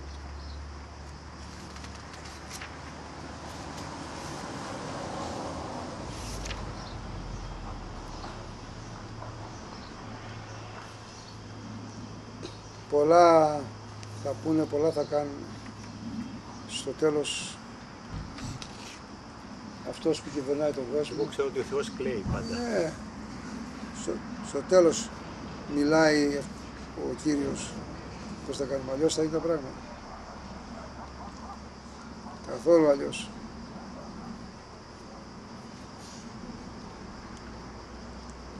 Εκείνο που βλέπω εγώ ότι με τους ανθρώπους που είμαστε γύρω δεν θέλουν να ακούσουν. Κανένας δεν θέλει να ακούσει λόγο γύρω. Κανένας. Να ακούσει. Λόγο γύρω, δηλαδή αν πεις μια Ποιοι κουβέντα. είναι για τους μεγάλους. μεγάλους. Μεγάλη μικρή. Εδώ- Α, τα εδώ- παιδιά, εδώ τα εμείς παιδιά δεν δέχονται θέλουμε. πιο εύκολα. Εμείς, Οι εδώ μεγάλοι εμείς δεν είναι- έχουμε. ναι, ναι. Τα παιδιά μας δεν τα έχουμε μάθει, μάθει να, να ακούσουν λόγο Αυτό Θεού. είναι αλήθεια. Γιατί τα σημερινά Γιατί δρόμενα δεν των ήξερα κι ανθρώπων εγώ. δεν έχουν καμία Δεν σχέση με ήξερα την κι εγώ, πραγματικότητα άγρια που είχα. ζουν. Έχουν άλλη βλέψη. Τώρα Άλλη, μαθαίνω. ε. Τώρα που σου λέω. Αυτό είναι. Όταν το παιδί γεννιέται και δεν έχει δεν γαλουχείται με ιδανικά, Έτσι. τελείωσε. Ναι. Στα σχολεία παλιότερα θα ξέρετε εσείς τι καλά γράμματα μαθαίνανε και τα κατανοούσαν. Σήμερα τι γράμματα μαθαίνουν.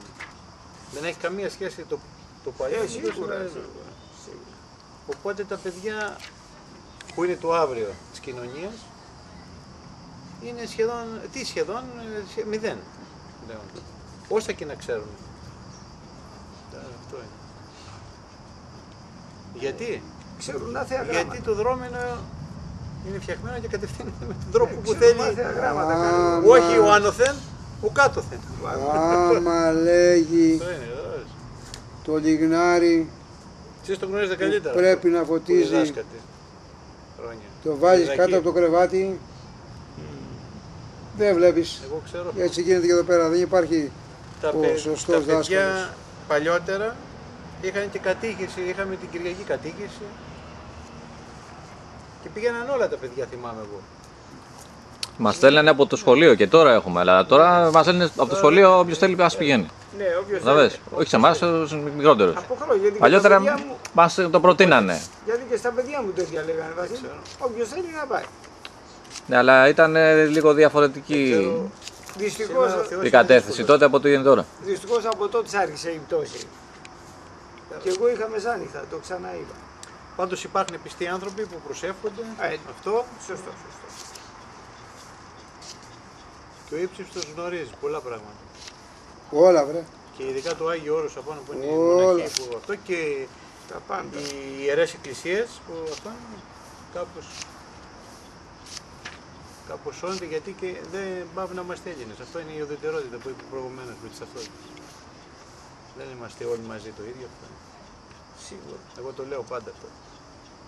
Ε, δεν μπορεί να είμαστε ταγμένοι όλοι το ίδιο. Αυτό είναι. Ήταν όπως και οι Απόστολοι του Χριστού.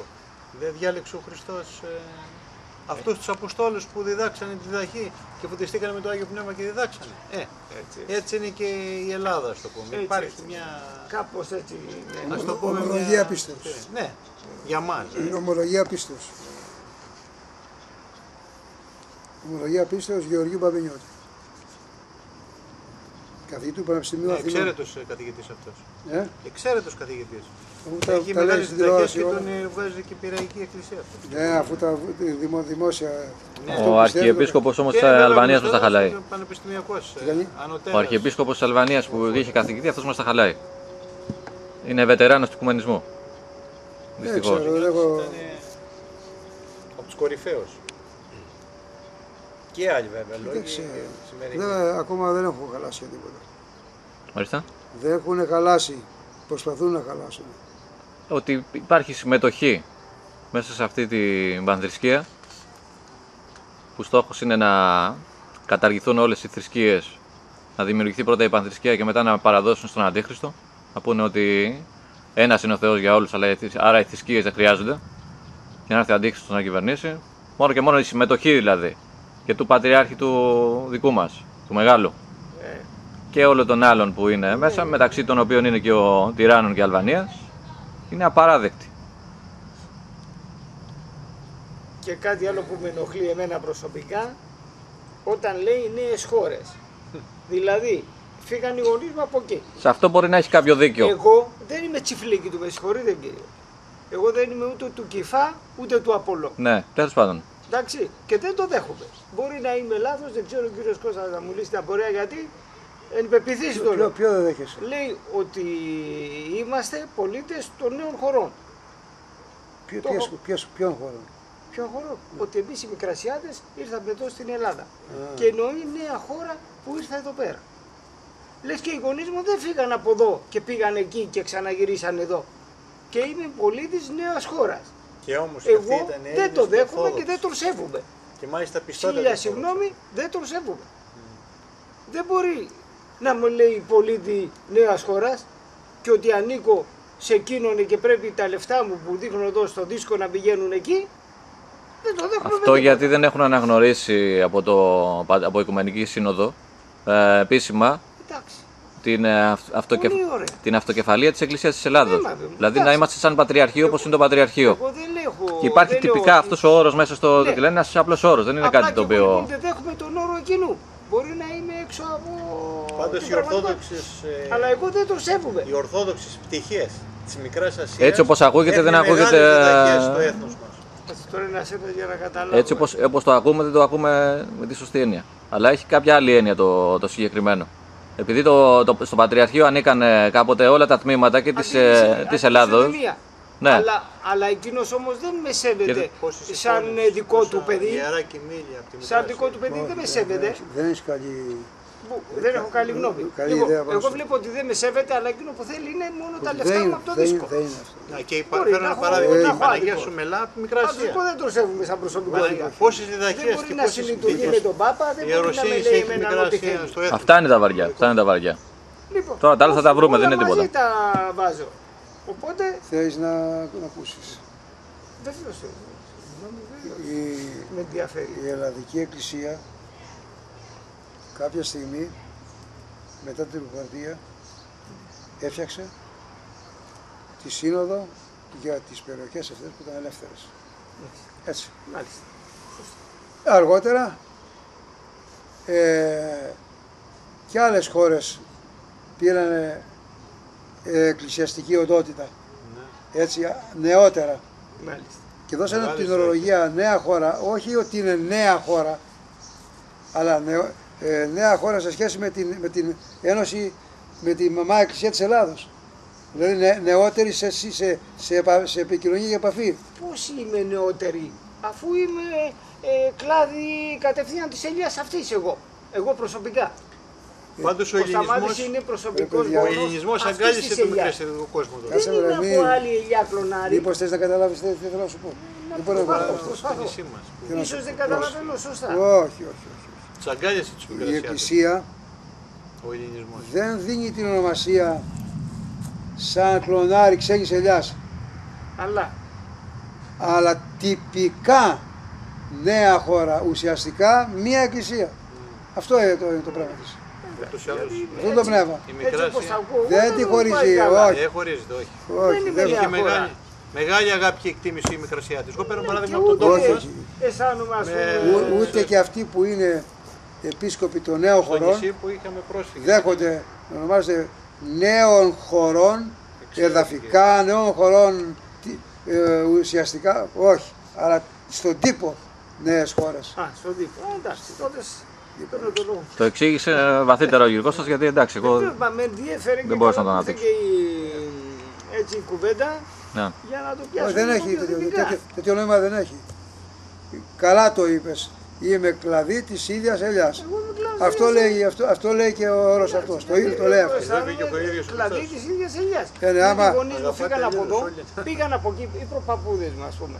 Έτσι. Δηλαδή τι θα πεις τώρα, Είναι- παίρνεις από την ελιά αυτή που είναι καλή ποιότητα και στο χώρο τον ίδιο είναι μια άλλη ελιά, την πολιάζεις ότι αυτή, αυτή εδώ η ελιά είναι άλλη ελιά από εκείνη αφού είναι ίδια. ίδια, ναι. Εκείνο Αυτό, είναι το- αυτό, με αυτό, προβλημάτιζε. αυτό ισχύει και εκεί. Εντάξει, εντάξει. Το ίδιο ισχύει. Εκεί που είναι Ένας- ξεραμένη η ελιά όμως αυτή τη στιγμή είναι ο παπισμός. Η ελιά... Γιατί έχει αποσπαστεί από δεν, μόνη. υπά- δεν υπάρχει ελιά. Αυτά θα... Δεν είναι και ελιά. Δεν είναι γιατί έχουν πέσει σε αιρέσεις, έχουν δώσει- φύγει. θα δώσει Πώς λόγο έχουμε εμείς άλλος κοινωνία με λόγο. αυτούς; Εγώ θα δώσω για τα δικά μου. Πάντως Έτσι. ε, ο- στο θέμα που μας είπε ο Βενιώτης, Ναι. Είναι καθαρά πατριωτικός ο λόγος και το, ε, ομολογία πίστεως, όπως το το αναφέρει. εμείς ας ευχόμαστε και ας προσευχόμαστε να γίνει ομολογία στην, στον ανάλογο καιρό. Αν δηλαδή το καλέσουν οι περιστάσεις, να μας δώσει ο Θεός τη δύναμη να πούμε σε αγαπάμε, όπως αγάπησαν οι τρεις παιδες, όπως αγάπησαν οι Άγιοι, δώσε μας τη χάρη σου, να κάνουμε και εμείς το ίδιο. Ε, γιατί η ομολογία πίστεως κυρίως είναι ομολογία έργων, έτσι δεν είναι; Και μπορώ να πω εγώ ότι πιστεύω και να βγω έξω να μιλάω, αλλά στην ανάλογη στιγμή, όπως λες τώρα εσύ, κάποια στιγμή θα μας ξεπουλήσουν για τα καλά και εμείς πρέπει να σταθούμε. Εκείνη τη στιγμή θέλω να είμαι εντάξει. Αυτή τη στιγμή να με αξιώσει και εμάς όλους ο Θεός, γιατί μετά δεν έχουμε λόγο ύπαρξης. Άμα δηλαδή πουλήσεις ό,τι ιερό και έχεις, τελείωσες από τη μέση, δεν αξίζεις τίποτα απολύτως. Είσαι πεθαμένος. Πεθαμένος πέρα για πέρα.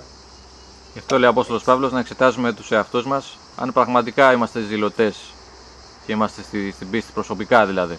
Αν σε καιρό διωγμού όντως θα αντισταθούμε και θα ομολογήσουμε. Γιατί μπορεί να δηλιάσουμε και στην Αποκάλυψη λέει αλίμονος στους δειλούς. Και τους Ε, βάζει μάλιστα να πέφτουν και πρώτοι μέσα. Εγώ να κάνω μια ομολογία πίστεως, Εσείς την έχετε κάνει ήδη με αυτά που λέτε. ε, αλλά ο, είναι λόγον πίστεως.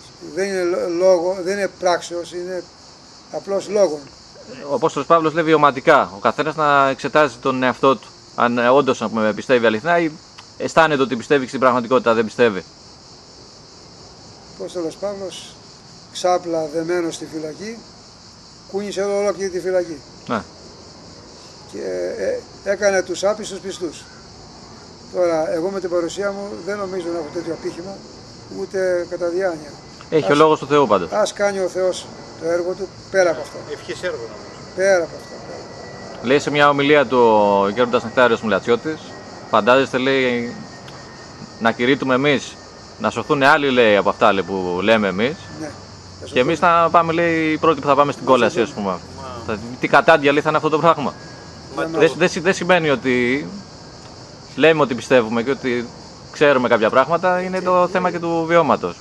Εγώ θα, Εκεί, θα- εκεί λέει θα ο πω και κάτι άλλο. πατήρ Αθανάσιος Μη- Μητυλινέος και ερμηνεύει τον Απόστολο Παύλο και λέει πρέπει να,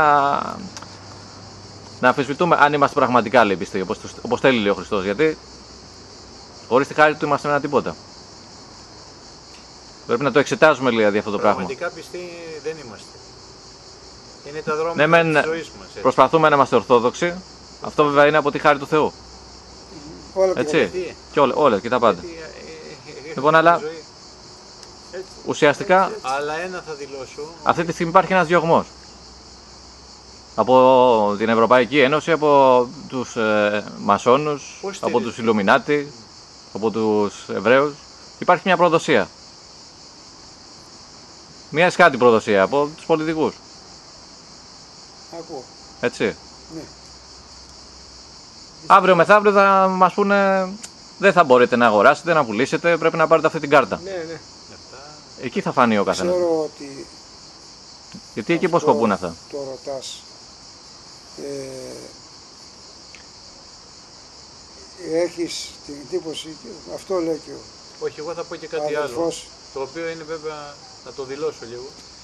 Το έθνος σας πώς στηρίζεται τώρα; Χάρη στην ιεροσύνη στηρίζεται. Με τις λειτουργίες του κάθε μέρα. Αυτό που είναι αυτό, τα μοναστήρια. Όσοι ιερείς που προσκυνούν με προσευχές. Αυτό και μόνο στηριζόμαστε εμείς. θέλω, Γενικά δηλαδή και το έθνος στον ελληνισμό. Γιατί αυτό. θέλω να, Είναι. εγώ θέλω να πω το εξής. Αν δεν υπήρχε αυτό, ήμασταν ευθερός στον άνεμο. Αυτό το δηλώνω δηλαδή εν πράξη. Αυτά τα μοναστήρια και οι ιεροί κανόνες της Εκκλησίας μας είναι αυτοί που στηριζόμαστε αυτή τη στιγμή και μετέπειτα. Και μόνο αν δεν υπήρχαν οι αυτοί οι ιερείς και οι μοναχοί και όλα αυτά τα οι μονέα, όπως το Άγιο Όρος απάνω, οι μοναχοί όλοι και γενικά όλες, και όλος ο κλήρος θα είχαμε αφανιστεί τώρα. Εμείς σαν ε, Ορθόδοξοι. Για να ακούσουμε το Κωνσταντίνος. Θέλω το Βασιλάκι να απαντήσω. Για τα αναμενόμενα έχουμε ξανακάνει λόγο και για τη στάση που θα βαστίξουμε θεωρητικά γνωρίζουμε. Αλλά πρακτικά είναι δώρο Θεού. Η στιγμή εκείνη τι θα διαβάσει ο Κύριος μέσα στη δική μας συνείδηση; Ότι τον λαχταράμε; Ε, θα μας δώσει και την αγάπη να κάνουμε και τα παραπέρα αν από τώρα έχουμε ξεχωρίσει τα πράγματα και του λέμε Κύριε μη μας αφήσεις γιατί δεν μπορούμε μόνοι μας και είναι γεγονός αυτό έχεις αντίρρηση ότι δεν Όχι, μπορούμε; σε αυτό όχι βέβαια. δεν μπορούμε Χάρη μόνοι μας. Θεού είναι όλα. Ε, την Γι' αυτό κατάλληλη... λέει άνθρωπος, αν όπω το είπατε στο κήρυγμα, άνθρωπο. Κοιτάμε. Εμείς πάντα το ξαναλέω πάλι για εμά Ορθοδόξους. Όχι αυτό, γιατί. Ούτε και ενδιαφέρομαι. αυτοί που, ε, Τώρα ούτε και βέβαια ο αυτοί Χριστός που είπε έπεσαν, αγαπάτε αλλήλους, όλο το αυτό, αλλά. ούτε και αυτοί που έδωσαν τους μάρτυρες το αίμα τους για τον Χριστό δεν θα είχαν θυ- θυσιαστεί χωρίς αυτή την βοήθεια του Κυρίου. Ναι, Δεν μπορούν. αυτό δεν το αφισβητεί κανένας αυτό. Ουδής. Ελπίζουμε να μας ελεήσει ο Θεός. Δικό του είναι το θέμα. Και δικό μας και δικό του. Πάντως προσεύχονται άνθρωποι στις μέρες μας. Είναι αυτή η ιερή παράδοση που έχει πάει. Γεγονός, ε. Προσεύχονται μέρα νύχτα, νύχτα μέρα Σωστό, σωστό. και υπάρχει αυτή η ελπίδα για το αύριο, το οποίο το αύριο το παραχωρεί βέβαια και αυτό ο Θεός, χωρίς να το ξέρει κανένας. Ε, και έπειτα υπάρχει και το άλλο Εξάλλου και η ιστορία πίσω τα αναφέρω. και το άλλο να μην σκεπτόμαστε αυτό που προ- περιμένουμε ότι είναι ένα φόβητρο. Τότε είμαστε από Στο τώρα Θεό κανένας δεν προδρομένοι. Κανένας. Το σκεπτόμαστε. Θυμάμαι που είχα πάει στο Γέροντα Παΐσιου, είχα πάει με ένα παιδί, το οποίο δεν τον ήξερα. Για να ακούσουμε. Τον οποίο δεν τον ήξερα, είχαμε συναντηθεί εκεί. Και πήγαμε παρέα την πρώτη φορά που πήγα.